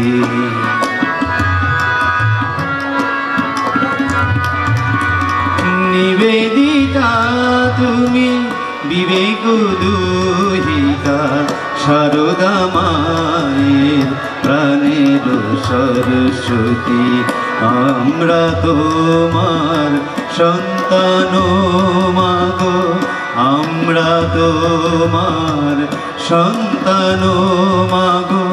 সার্ধ সাততে জানাই প্রণতি।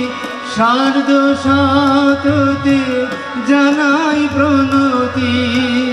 নিবেদিতা তুমি বিবেক দুহিতা সারদা মায়ের প্রাণের সরস্বতী।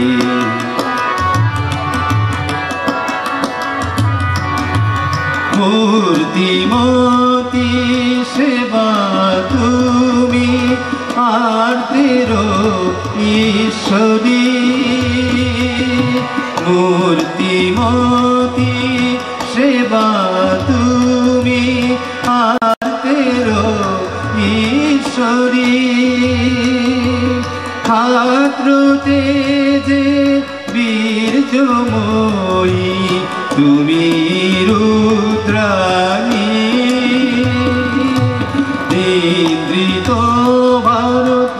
জাগে তোমার আহ্বানে। সেবিকা বান্ধবী, সার্থক জননী তুমি। সার্থক জননী তুমি।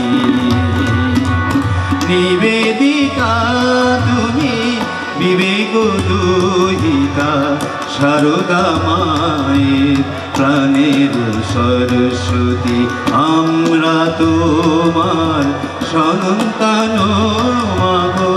সার্ধ সাততে জানাই প্রণতি।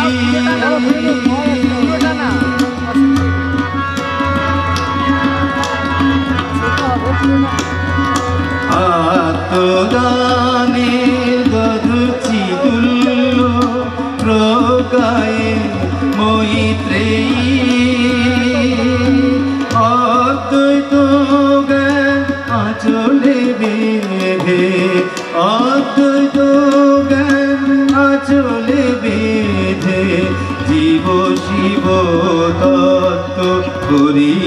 প্রচার তোমারে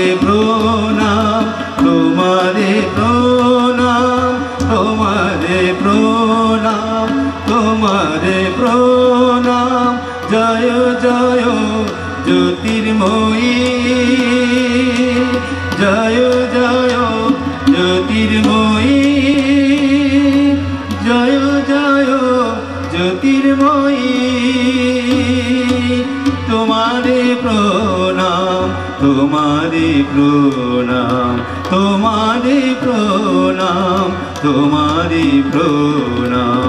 নিবেদিতা তুমি, বিবেক দুহিতা, সারদা মায়ের প্রাণের সরস্বতী। আমরা তোমার সন্তান মাগো, আমরা তোমার সন্তান মাগো। সার্ধ সাততে জানাই প্রণতি। মাগো সার্ধ সাততে জানাই প্রণতি। তোমায় সার্ধ সাততে জানাই প্রণতি।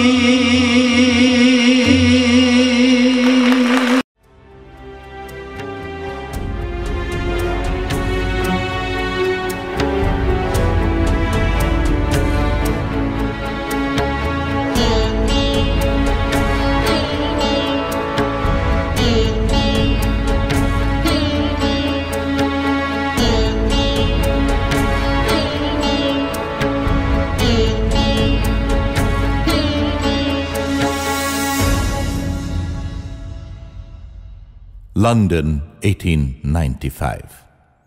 It was an informal gathering at a private house in a West End drawing room on a cold Sunday afternoon in November. A young Irish schoolteacher, Margaret Noble, in her late twenties, had come with a friend to listen to the Swami at a private lecture.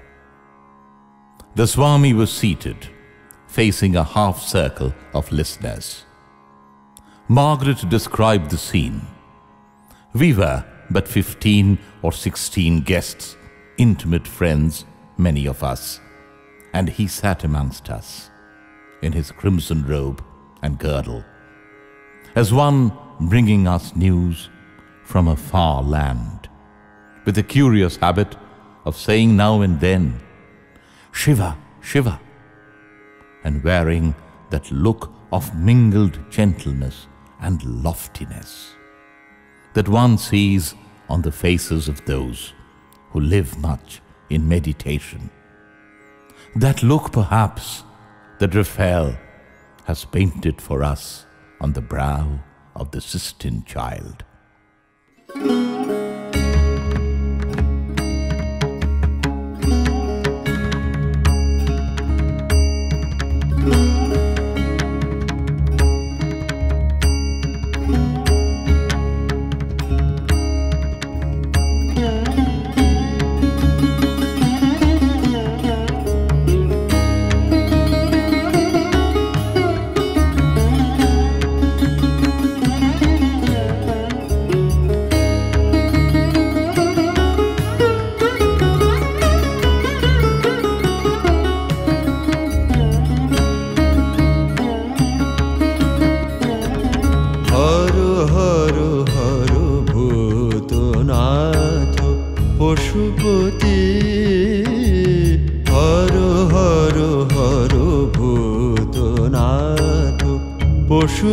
see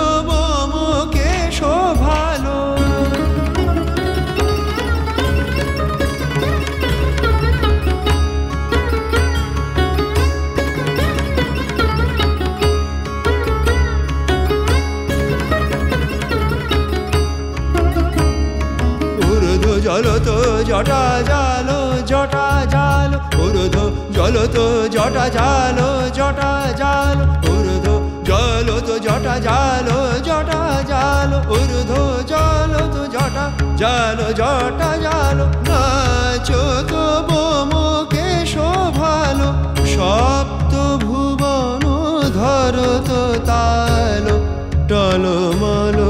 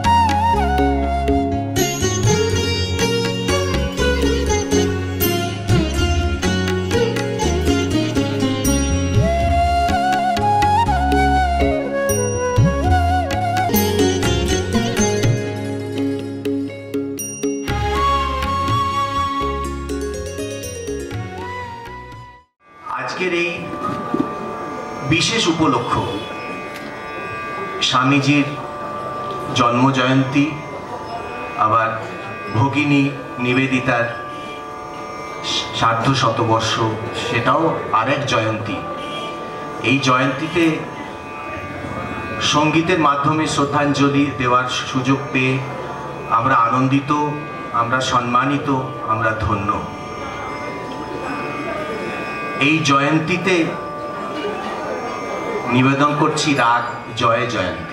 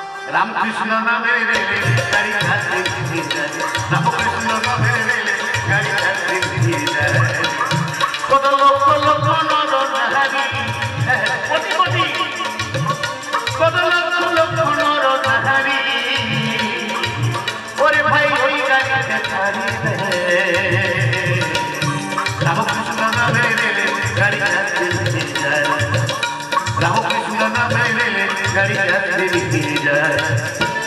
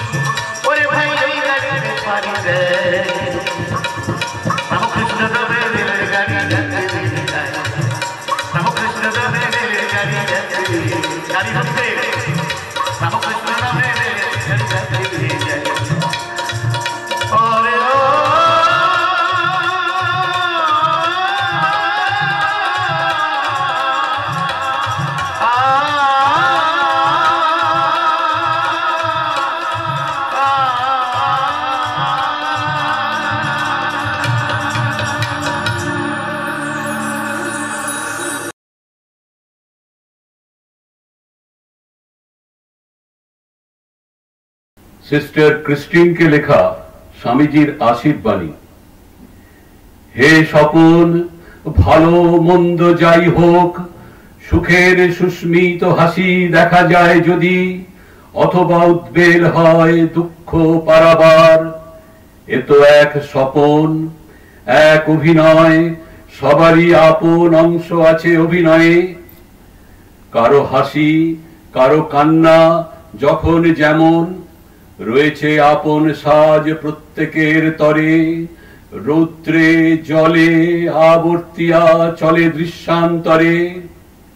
হে স্বপন, সার্থক স্বপন, কাছে দূরে করো মায়া জাল। পেলব কোমল করো তীব্র রেখা যত। সব রুক্ষ তারে তুমি নম্র করে তোলো। তোমারই মাঝারে আছে সব ইন্দ্রজাল। তোমারই পরশে প্রাণ পুষ্পে হিল্লোলিত জাগে মরুভূমি মধুর সংগীত তরে ঘন ঘোর অশনি গর্জন মৃত্যু আনে মধুময় মুক্তির আস্বাদ। এখন আপনাদের সামনে বক্তব্য রাখছেন শ্রী দেবানুজন সেনগুপ্ত। নমস্কার। শুভ সন্ধ্যা। সিস্টার ক্রিস্টিন সম্পর্কে বলতে গেলে প্রথমেই মনে হয় ইতিহাসের সেই নির্মম খেয়ালের কথা। দেখুন, ইতিহাস সত্যি বড় খেয়ালি বড় নির্মম। কাকে যে স্মৃতি ধার্য করে রেখে অমরত্বের শিরোপা দেবে, আর কাকে অযৌক্তিক উপেক্ষায় ঝাপসা করে রাখবে, এ বোঝা বড় শক্ত। নিবেদিতা বিদ্যালয়ের তাই এক অন্যতম ধাত্রী, সিস্টার ক্রিস্টিনকে এই ইতিহাসের খেয়ালেই বুঝি আমরা আজ ভুলতে বসেছি। এই প্রজন্ম প্রায় জানেই না কত প্রতিকূল পরিবেশে,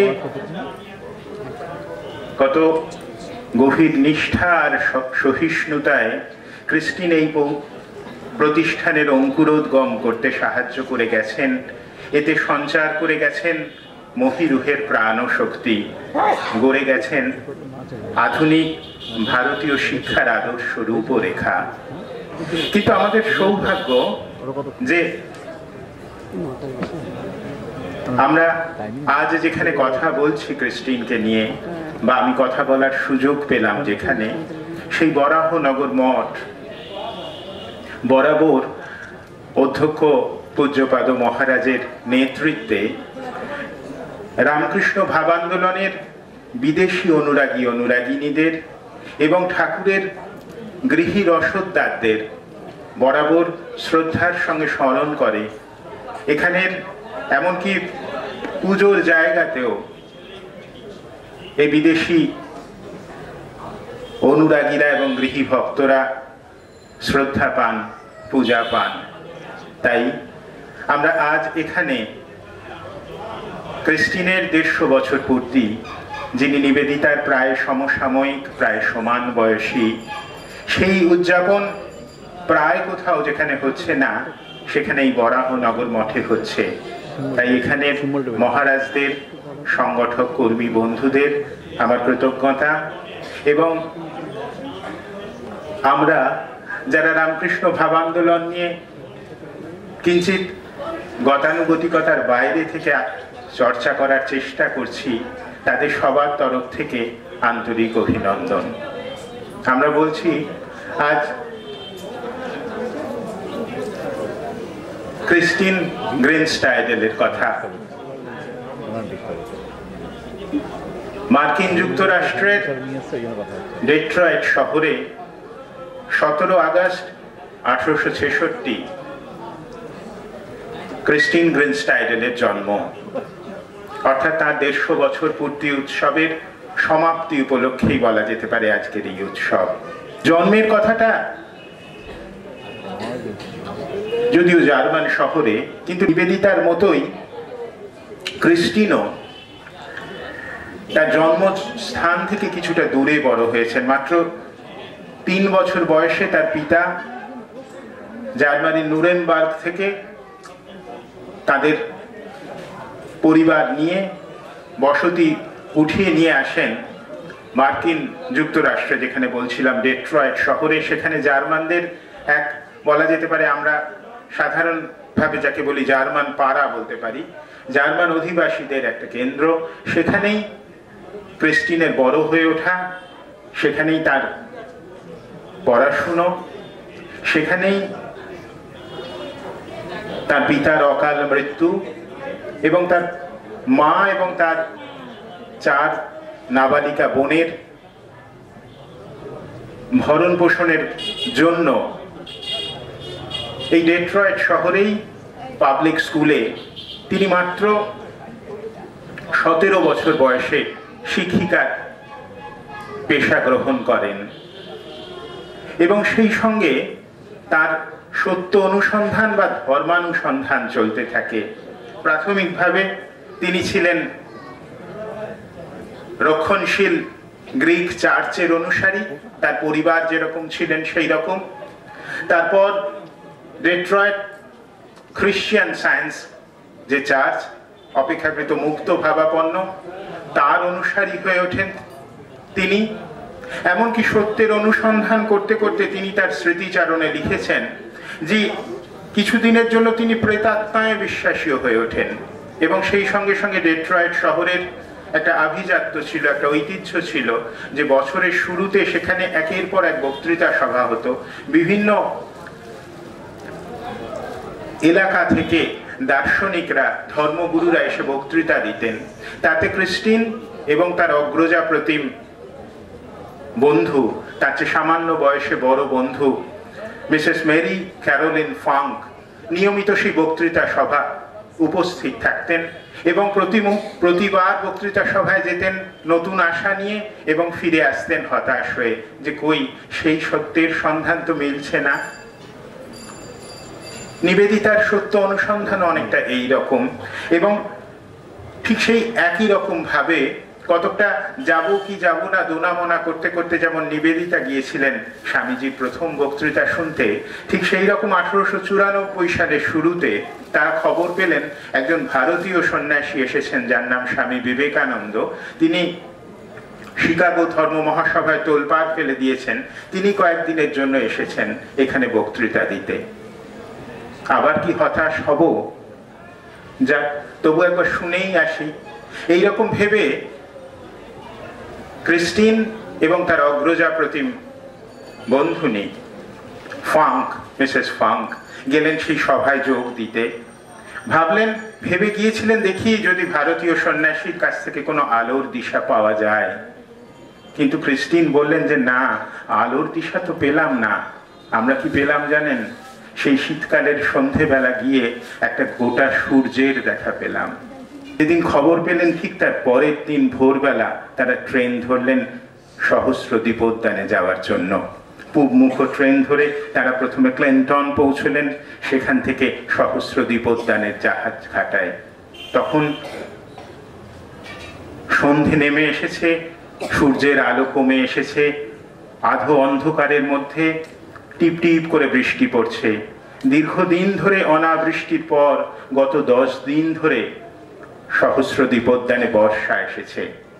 আধ ভেজা পোশাকে দুই ভদ্রমহিলা উদ্ভ্রান্তের মতো জাহাজ ঘাটার প্রায় বন্ধ হয়ে যাওয়া দোকানগুলোতে ঘুরে ঘুরে জিজ্ঞেস করছেন, যা আচ্ছা আপনারা জানেন মিস ডাচারের বাড়িটা কোথায়? এক দোকানি শেষ পর্যন্ত উত্তর দিলেন হ্যাঁ জানি বই কি। ওই তো সামনের টিলা। সেই টিলার অনেক, অনেকটা উঁচুতে দেখুন, ওই যে বিরাট অট্টালিকা, প্রায় প্রাসাদ, ওইটা হচ্ছে মিস ডাচারের বাড়ি। নিঃশ্বাস বন্ধ করে তারা জিজ্ঞেস করলেন আচ্ছা সেই ডাচারের বাড়িতে কি আপাতত কোনো অতিথি এসছেন? দোকানি বললেন হ্যাঁ এসছেন তো। প্রায় জন জনা দশেক এসছেন। তার সঙ্গে অদ্ভুত পোশাক পরা এক ভারতীয় এসছেন। এক বিদেশি, শুনেছি ভারতীয়। অদ্ভুত পোশাক তার। দুই তরুণীর বুকের মধ্যে যেন ছলাৎ করে উঠল। দু হাতের মুঠোয় তারা আরও শক্ত করে ধরলেন, এলোমেলো হাওয়ায় উড়ে যাওয়া ছাতা। তাদের অনুরোধে সাড়া দিয়ে একটি মানুষ সামনে ল্যান্টার নিয়ে, লণ্ঠন নিয়ে তাদের পথ দেখিয়ে গিয়ে চলেছেন। পাহাড় জুড়ে ঘন বনানি, সেখানে এলোমেলো পথ দিয়ে কোথাও কাদা ছপছপ, কোথাও ভেজা গ্রানাইটে পিচ্ছিল রাস্তা, সেখান দিয়ে ওই পুরুষ গাইডকে দের পেছনে পেছনে চলেছেন মিসেস মেরি ক্যারোলিন ফাঙ্কি এবং ক্রিস্টিন গ্রেন স্টাইডেল কিছু দূর ওঠার পর একটা আবছা মতো একটা পুরুষ কণ্ঠ তাদের কানে এলো। পরে মিসেস ফাঙ্ক স্মৃতিচারণ করেছেন যে শব্দটা কানে আসবার পর আমরা চারদিকের শোঁশো হাওয়ার মধ্যে যেন আরেকটা কি শব্দ পাচ্ছি মনে হচ্ছে এবং পরে বুঝতে পারলাম ওটা আমাদের হৃদস্পন্দনের শব্দ। আমরা বোধহয় ঠিক জায়গায় তাহলে আসছি। কর্দমাক্ত শরীরে আরও কিছু দূর ওঠার পর তারা নিশ্চিত হলেন যে কণ্ঠস্বর বছর দেড়েক আগে তাদের আলোড়িত করে দিয়েছিল, এ সেই পুরুষ কণ্ঠ। তারা ঠিক পথে এসেছেন। প্রায় পাঁচশো মাইল একদিনে অতিক্রম করে তারা এসে পৌঁছলেন। সহস্র দ্বীপোদ্যানের সেই টিলার ওপর মিস মেরি এলিজাবেথ টাচারের বাড়ি। তখন তো অন্ধকার হয়ে গেছে, প্রায় প্রথম রাত। এখন এক রবাহুতের মতো একজন অপরিচিত মানুষের বাড়িতে করাঘাত করা তো শোভন নয়। কিন্তু কয়েক মুহূর্তের সেই দ্বিধা, তারপর সেই দুজন করাঘাত করলেন দরজায়। স্বয়ং মিস ডাচার দরজা খুলে দিলেন অবাক চোখে। দেখলেন উদ্ভ্রান্ত দুই ভদ্রমহিলা, কর্দমাক্ত তাদের শরীর। ক্রিস্টিনি প্রথমে কথা বললেন, কেন তারা এসেছেন? মিসেস ডাচার তার তাড়াতাড়ি তাদের বসতে দিলেন এবং স্বামী বিবেকানন্দকে ডেকে এলেন, ডেকে নিয়ে এলেন। দুজন ভদ্রমহিলা ডেট্রয়েড থেকে এসছেন আপনার কাছে। স্বামী বিবেকানন্দ ওপরে ছিলেন, কথা বলছিলেন। একটু আগে তিনি নেমে এলেন।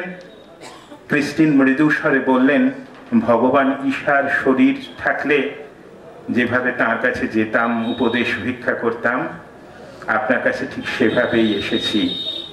সস্নেহ দৃষ্টিতে স্বামীজি দুই তীর্থযাত্রীর দিকে তাকালেন। তারপর দীর্ঘশ্বাস গোপন করে বললেন, আমি যদি ভগবান খ্রিস্টের মতো তোমাদের এখনই মুক্ত করে দিতে পারতাম। স্বামী বিবেকানন্দের সঙ্গে এই দ্বিতীয়বারের ক্রিস্টিনের সাক্ষাৎ। এরপর আর তাদের ভুল হয়নি। স্বামী বিবেকানন্দের সঙ্গে যোগাযোগ ছিন্ন করার ভুল তারা আর করেননি। তারা আশাও করেননি যে মিস ডাচার তার গৃহে এই বাকি শিষ্যাদের সঙ্গে তার থাকা, তাদের থাকার ব্যবস্থা করে দেবেন। আশ্চর্য আন্তরিকতায় সেই শিষ্য শিষ্যা মণ্ডলীর সঙ্গে ক্রিস্টিন এবং ফাঙ্ক একসঙ্গে জুড়ে গেলেন এবং সেই শিষ্যারা তাদের শুধু আপন করে নিলেন না, তারা উৎসাহে বললেন যে, জানো, আমরা তো খ্রিস্টের দ্বাদশ শিষ্যের কথা বলেছি। তোমরা দুজন এলে মাথা গুনতিতে দেখো, আমরা বারো জন হলাম। সেই সহস্র দ্বীপোদ্যানে এরপর পরবর্তী সমস্ত দিন স্বামীজির সঙ্গে তারা কাটালেন। তারপরের সেই যে দিনটি জুলাই মাস, ক্রিস্টিন যে স্মৃতিচারণ করেছেন, তাতে যে তারিখ বলেছিলেন, পরে বিবেকানন্দের পাশ্চাত্য জীবনের যিনি গবেষিকা ম্যারি লুই বাগ স্থির করেছেন যে সেই দিনটি ছিল উনিশে জুলাই আঠারোশো পঁচানব্বই। সেই উনিশে জুলাই আঠারোশো পঁচানব্বই থেকে পরপর কয়েকদিন একসঙ্গে বিবেকানন্দের সঙ্গে থাকলেন এই দ্বাদশ শিষ্যা। যেদিন তাদের দেখা হলো, সেদিনটা ছিল শনিবার। তার দুদিন পর বিবেকানন্দ কয়েকজনকে ব্রহ্মচর্যের দীক্ষা দেবেন, স্থির করেছিলেন। কিন্তু মাত্র দুদিন হলো আলাপ হয়েছে ক্রিস্টিনের সঙ্গে। বিবেকানন্দ নিজে বললেন যে, এখনও তোমাদের তো খুব ভালো করে জানি না আমি, তাই তোমাদের কি করে দীক্ষা দেবো ঠিক বুঝতে পারছি না। তারপর একটু কোণঠাস্বরে বললেন আচ্ছা জানো, আমার একটা ক্ষমতা আছে, আমি অন্যের মন পড়তে পারি যদি ইচ্ছা করি। কদাচিৎ এই ক্ষমতা আমি প্রয়োগ করি। যদি ক্রিস্টিন, তুমি আমাকে অনুমতি দাও, তাহলে তোমার মনটা পড়ার চেষ্টা করব। ক্রিস্টিন সোৎসাহে অনুমতি দিলেন। স্বামীজি জিজ্ঞেস করলেন, আমি কি তোমার মন সম্পূর্ণ তো পড়তে পারি? হ্যাঁ অবশ্যই। ক্রিস্টিন কোনো দ্বিধা না করে উত্তর দিলেন। স্বামীজি সঙ্গে সঙ্গে উত্তরে বললেন, সাবাস মেয়ে। সেই আলাপ হওয়ার পর এর আগে তো শুধু বক্তৃতার শ্রোতা ছিলেন ডেট্রয়েটে, কিন্তু এই সহস্র দীপোদ্যানে আলাপ হওয়ার দুদিনের মাথায় ক্রিস্টিন গ্রিনস্টাইডেলকে দীক্ষা দিলেন স্বামী বিবেকানন্দ। আর এই সহস্র দীপোদ্যানে থাকাকালীনই ভারতীয় মহিলাদের শিক্ষা প্রসঙ্গে বা ভারতীয় মহিলাদের শিক্ষায় বর্তমানের যুগে পিছিয়ে পড়া সম্পর্কে কথা বলতে বলতে স্বামী বিবেকানন্দ হঠাৎ একদিন ক্রিস্টিনকে বললেন আহ্বান করলেন, তুমি যাবে আমাদের দেশে। ভারতীয় মহিলাদের, তোমার মতো বিদুষিনীদের প্রয়োজন। নভেম্বর আঠারোশো আটানব্বই আমরা জানি, সিস্টার নিবেদিতা তার বাগবাজারে বিদ্যালয় স্থাপন করেছিলেন। কিন্তু তার পর অর্থাভাবে ধুঁকতে থাকা সেই বিদ্যালয়ের জন্য মূলত অর্থ সংগ্রহের জন্য তিনি আঠারোশো নিরানব্বই সালে বিদ্যালয়কে সাময়িকভাবে বন্ধ করে বিদেশ যাত্রা করেন, পাশ্চাত্য যাত্রা করেন এবং তারপর আবার ভারতবর্ষে ফিরে এসে উনিশশো দুই সাল থেকে সতেরো বোসপাড়া লেনে আবার বিদ্যালয় নতুন করে চালু করবার সিদ্ধান্ত নেন। ইতোমধ্যে ক্রিস্টিনের মা গত হয়েছেন এবং তার বোনেরাও অনেকটা স্বাবলম্বী হয়ে উঠেছে। ক্রিস্টিন স্বামী বিবেকানন্দের সঙ্গে যোগাযোগ করলেন। তাদের মধ্যে চিঠির যোগাযোগ তো ছিলই। তিনি যোগাযোগ করলেন যে আমি এখন ফাঁকা হয়েছি, আমি কি এবার যেতে পারি? তার সেই আহ্বানের উত্তরে স্বামী বিবেকানন্দ এক চিঠি লিখেছিলেন। সেই চিঠিতে তিনি বলছেন যে, তুমি জানো, এখানে তুমি কতটা স্বাগত, সে কথা আমার বলার অপেক্ষা রাখে না। মিসেস বুল, জো, অর্থাৎ মিসেস ম্যাকলাউডের কথা বলছেন, জো এবং মার্গো, অর্থাৎ মার্গারেট নোবেল, তোমার জন্য অধীর আগ্রহে অপেক্ষা করছে। And so is Vivekananda. নিজের নামটা তিনি ক্যাপিটাল হরফে, অল ক্যাপ হরফে লিখলেন এটা গুরুত্ব বোঝানোর জন্য। বিবেকানন্দও তোমার জন্য অপেক্ষা করছেন। সাতই এপ্রিল ক্রিস্টিন কলকাতা পৌঁছলেন এবং স্বামীজি আগে থেকে স্থির করে রেখেছিলেন এই প্রচণ্ড গ্রীষ্মে, তাকে আপাতত কলকাতায় না রেখে মিসেস সেভিয়ারের কাছে পাঠান মায়াবতীতে নিবেদিতাও মায়াবতী গেলেন ক্রিস্টিনের সঙ্গে, কিন্তু তিনি অল্পদিন পরে ফিরে এলেন স্কুল শুরু করবার জন্য। ক্রিস্টিন আরও কিছুদিন থেকে গেলেন মিসেস সেভিয়ারের কাছে, তার কাজে সহায়তা করার জন্য। কিন্তু হায়, তিনি জানতেন না, নিবেদিতার সঙ্গে ফিরে যদি তিনি আসতেন, তাহলে তার আচার্যের সঙ্গে শেষ সাক্ষাৎ তার হতে পারত। মায়াবতীতেই তিনি খবর পেলেন, স্বামী বিবেকানন্দের শরীর গিয়েছে। তিনি ফিরে এলেন। জুলাই মাসের জুলাই মাসের দ্বিতীয় সপ্তাহে তিনি খবর পেলেন। স্বামীজি যেরকম ভাবে সূচি নির্ঘণ্ট বেঁধে দিয়েছিলেন, সেইটা কে মান্যতা দিয়েই তিনি কলকাতা ফিরলেন ডিসেম্বরে এবং বাগবাজারের স্কুলে যোগাযোগ করলেন। বাগবাজারের স্কুলে তার কাজ শুরু হলো। ক্রিস্টিন এসে যোগ দেওয়ায় নিবেদিতার মূলত দুটি সুবিধে হলো। এক হলো নিবেদিতা তখনই নানান ধরনের কাজে তার নিজের লেখালেখি এবং শিল্প, সাহিত্য, বিজ্ঞান ইত্যাদি বিভিন্ন কাজে জড়িয়ে পড়েছেন। ফলে ক্রিস্টিনকে দায়িত্ব দিয়ে তিনি অনেকটা অন্যান্য কাজে সময় দিতে পারলেন। আর দ্বিতীয় কথা, প্রায় তেরো বছর ধরে ক্রিস্টিন কিন্ডার গার্ডেন পদ্ধতিতে শিক্ষা দিয়ে এসেছেন ডেট্রয়েটে। সেই অভিজ্ঞতা তিনি কাজে লাগাতে পারলেন বাগবাজারের স্কুলে। ক্রিস্টিন এসে তখন ছাত্রীদের পড়ানো হতো বাংলা, ইংরেজি, অঙ্ক, নিবেদিতা ক্রিস্টিন আসার পর নিবেদিতার সঙ্গে আলোচনা করে ইতিহাস, ভূগোল পড়ানো শুরু করলেন। সেই করালেন, সেই সঙ্গে ছবি আঁকা, মাটির জিনিস গড়া, নানা খেলাধুলো শুরু করলেন। আর তিনি শুরু করলেন পুরস্ত্রী বিভাগ। তারই উৎসাহে শুরু হলো পুরস্ত্রী বিভাগ। তিনি বুঝতে পারছিলেন যে মহিলারা অত্যন্ত উৎসাহ নিয়ে পড়াশুনো করতে আসছে, কিন্তু তাদের পড়াশুনো একটু শুরু হওয়ার পরেই থমকে যাচ্ছে, তার কারণ তাদের বাল্য বিবাহ হয়ে যাচ্ছে এবং বিয়ে হয়ে যাওয়ার পর এই রক্ষণশীল পাড়ায় আর তাদের স্কুলে আনা যাচ্ছে না। ক্রিস্টিন এই বেড়াটাকে ভাঙতে চাইলেন। তার উৎসাহেই শুরু হলো পুরস্ত্রী বিভাগ। তারা প্রস্তুতি নিলেন সব দিক ভেবে চিনতে তখনকার হিসেবে দুজন মেম সাহেবের কাছে বাড়ির বউরা বাল্য বিধবাই হোক আর বাড়ির সধবা বউই হন, তারা মেম সাহেবের কাছে পড়াশুনো করতে আসছেন এটা ভাবনার অতীত ছিল। কিন্তু ক্রিস্টিন এবং নিবেদিতা পরিকল্পনা করে তার এক পরিবেশ রচনা করলেন। সেই সময়ে যারা পূজিত হতেন, যারা শ্রদ্ধা পেতেন প্রশ্নাতীত ভাবে সেই সব মানুষদের সঙ্গে দেখা যাচ্ছে এই বিদ্যালয়ের যোগাযোগ। যেমন বিজ্ঞানী জগদীশ চন্দ্র বসু, কবি রবীন্দ্রনাথ ঠাকুর, দীনেশ চন্দ্র সেন, তখনকার স্টেটসম্যানের সম্পাদক এস কে র্যাটক্লিফ তারা নিয়মিত বাগবাজার স্কুলে যোগাযোগ করছেন। তার সঙ্গে সঙ্গে মহারাজরা, পূজ্যপাদ মহারাজরা তো আছেনই। এই ক্ষেত্রে নিবেদিতার কৃতিত্ব বেশি।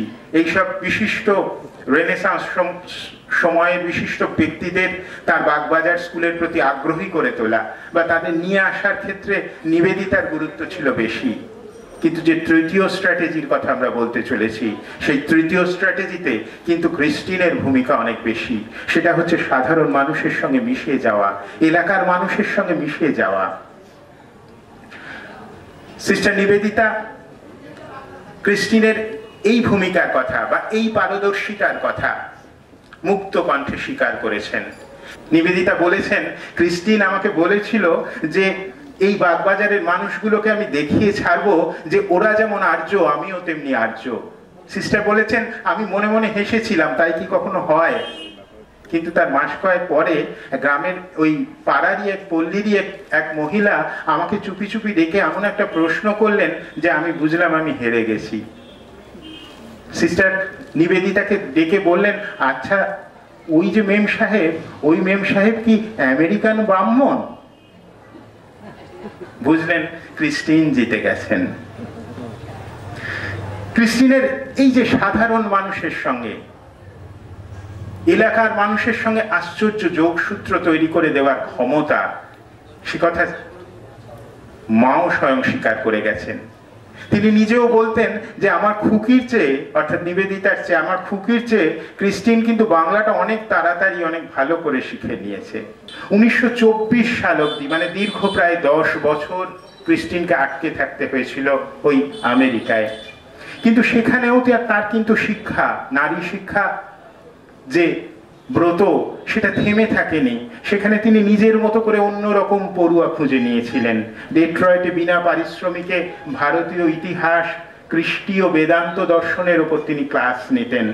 তার বেদান্ত ক্লাসের এক শ্রোতা স্মৃতিচারণ করেছেন, নির্ভুল তাঁর উচ্চারণ, অদ্ভুত সুসংহত কণ্ঠস্বর, সুপ্রাচীন কোনো দেবালয়ের পূজারিনীর মতো তার আকৃতি। তিনি আমাদের শিখিয়েছিলেন, ভারতকে জানতে ও ভালোবাসতে। আর আলোচনার বিষয় একটিই ছিল, ভগবান শ্রীকৃষ্ণ যে কথা গীতা মুখে অতি সুন্দরভাবে বলেছেন, আমি সর্বচরাচর ব্যক্ত হয়ে আছি। মাত্র এই কথাটি তিনি নানা বাস্তব ও ঘটনা ও বিভিন্ন দৃষ্টিকোণ থেকে আলোচনা করে এমনভাবে বোঝাতেন যে শুনলে সেই ধারণায় পুরোপুরি বিশ্বাসী না হয়ে উপায় ছিল না। শেষ পর্যন্ত প্রশাসনিক বাধা নিষেধ কাটল। ডেট্রয়েদের পড়ুয়াদের কাঁদিয়ে সিস্টার ক্রিস্টিন ফিরে এলেন কলকাতায়, ফিরে এলেন বাগবাজারে। এসে দেখলেন গত এক দশকে তাদের বিদ্যালয় অনেক সমৃদ্ধ হয়েছে, অনেক বদলে গেছে। সতেরো বোসপাড়া লেনের বাড়ি ভেঙে পড়েছে, যেমন ভেঙে পড়েছে স্কুলের সাবেক কালের অনেক রীতিনীতির আগল। ভগিনী সুধীরাও উনিশশো কুড়ি সালে গত হয়েছেন। যে চারা গাছকে তিনি নিবেদিতা এবং সুধীরা আশা দিয়ে ভাষা দিয়ে ভালোবাসা দিয়ে আগলে রেখেছিলেন, সে আজ পল্লবিত বৃক্ষের রূপ নিয়েছে। অনেক ঝড়ঝাপটা সামলাবার ক্ষমতাধারী হয়েছে। অনেককে আশ্রয় দিতে প্রস্তুত হয়েছে। ক্রিস্টিনের বুঝতে অসুবিধে হলো না, এই স্কুলের আর তাকে প্রয়োজন নেই। বিদ্যালয় প্রধানার পদ থেকে আনুষ্ঠানিকভাবে তিনি সরে দাঁড়ালেন।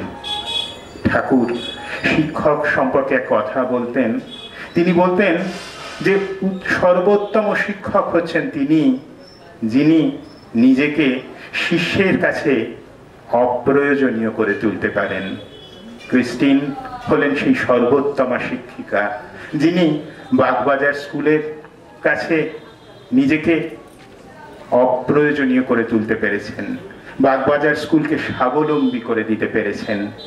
তার মনে পড়ছিল, তার আচার্য তাকে নিয়ে যে কবিতা লিখেছিলেন টু অ্যান আর্লি ভায়োলেট অর্থাৎ সময়ের চেয়ে এগিয়ে আছে যে ভায়োলেট ফুল, যার চারপাশে তখনও তুষারপাত হচ্ছে। ভায়োলেট ফুটবার তখনও সময় হয়নি, কিন্তু সেই ভায়োলেট যে সময়ের চেয়ে অনেক এগিয়ে, সেই সময়ের থেকে এগিয়ে থাকা ভায়োলেট ফুল যেন ক্রিস্টিন তাকে আশীর্বাদ করে স্বামীজি যে কবিতা লিখেছিলেন সেই কবিতার লাইন, ক্রিস্টিনের যেন তখন কানে বাজছে, প্রণব রঞ্জন ঘোষের অনুবাদে, তুষার কঠিন, মাটি না হয় হোক না তোমার শয্যা, আবরণ তব শীতার্ত ঝঞ্ঝার, জীবনের পথে নাই বা জুটল বন্ধু জনার হর্ষ, ব্যর্থ তোমার সৌরভ বিস্তার। তবু প্রশস্ত বিকশিত থাকো পবিত্র মধুময়। থাকো অবিচল আপনার মহিমায়। দাও ঢেলে দাও স্নিগ্ধ উদার মধু সৌরভ তব চির প্রশান্ত অযাচিত করুণায়। তার আচার্যের সেই বাণী ক্রিস্টিনের কানে বাজছে যখন তিনি বাগবাজার স্কুল ছেড়ে আস্তে আস্তে বেরিয়ে যাচ্ছেন। ক্রিস্টিনের মনে আর কোনো ক্ষোভ নেই, কোনো পিছু টান নেই। গুরুদেবের স্বপ্নকে বাস্তবায়িত করার এক অপার্থিব তৃপ্তিতে তার জীবন ধন্য। মুক্ত ব্রহ্মচারিণী ক্রিস্টিন এগিয়ে চললেন। কাজের জগৎ থেকে ছুটি নিয়ে তার এবার সুযোগ এলো একান্ত ধ্যানে, ধ্যানের, একাত্ম সাধনার। তিনি জানেন, স্বামীজি তাকে পথ দেখাবেন। নমস্কার।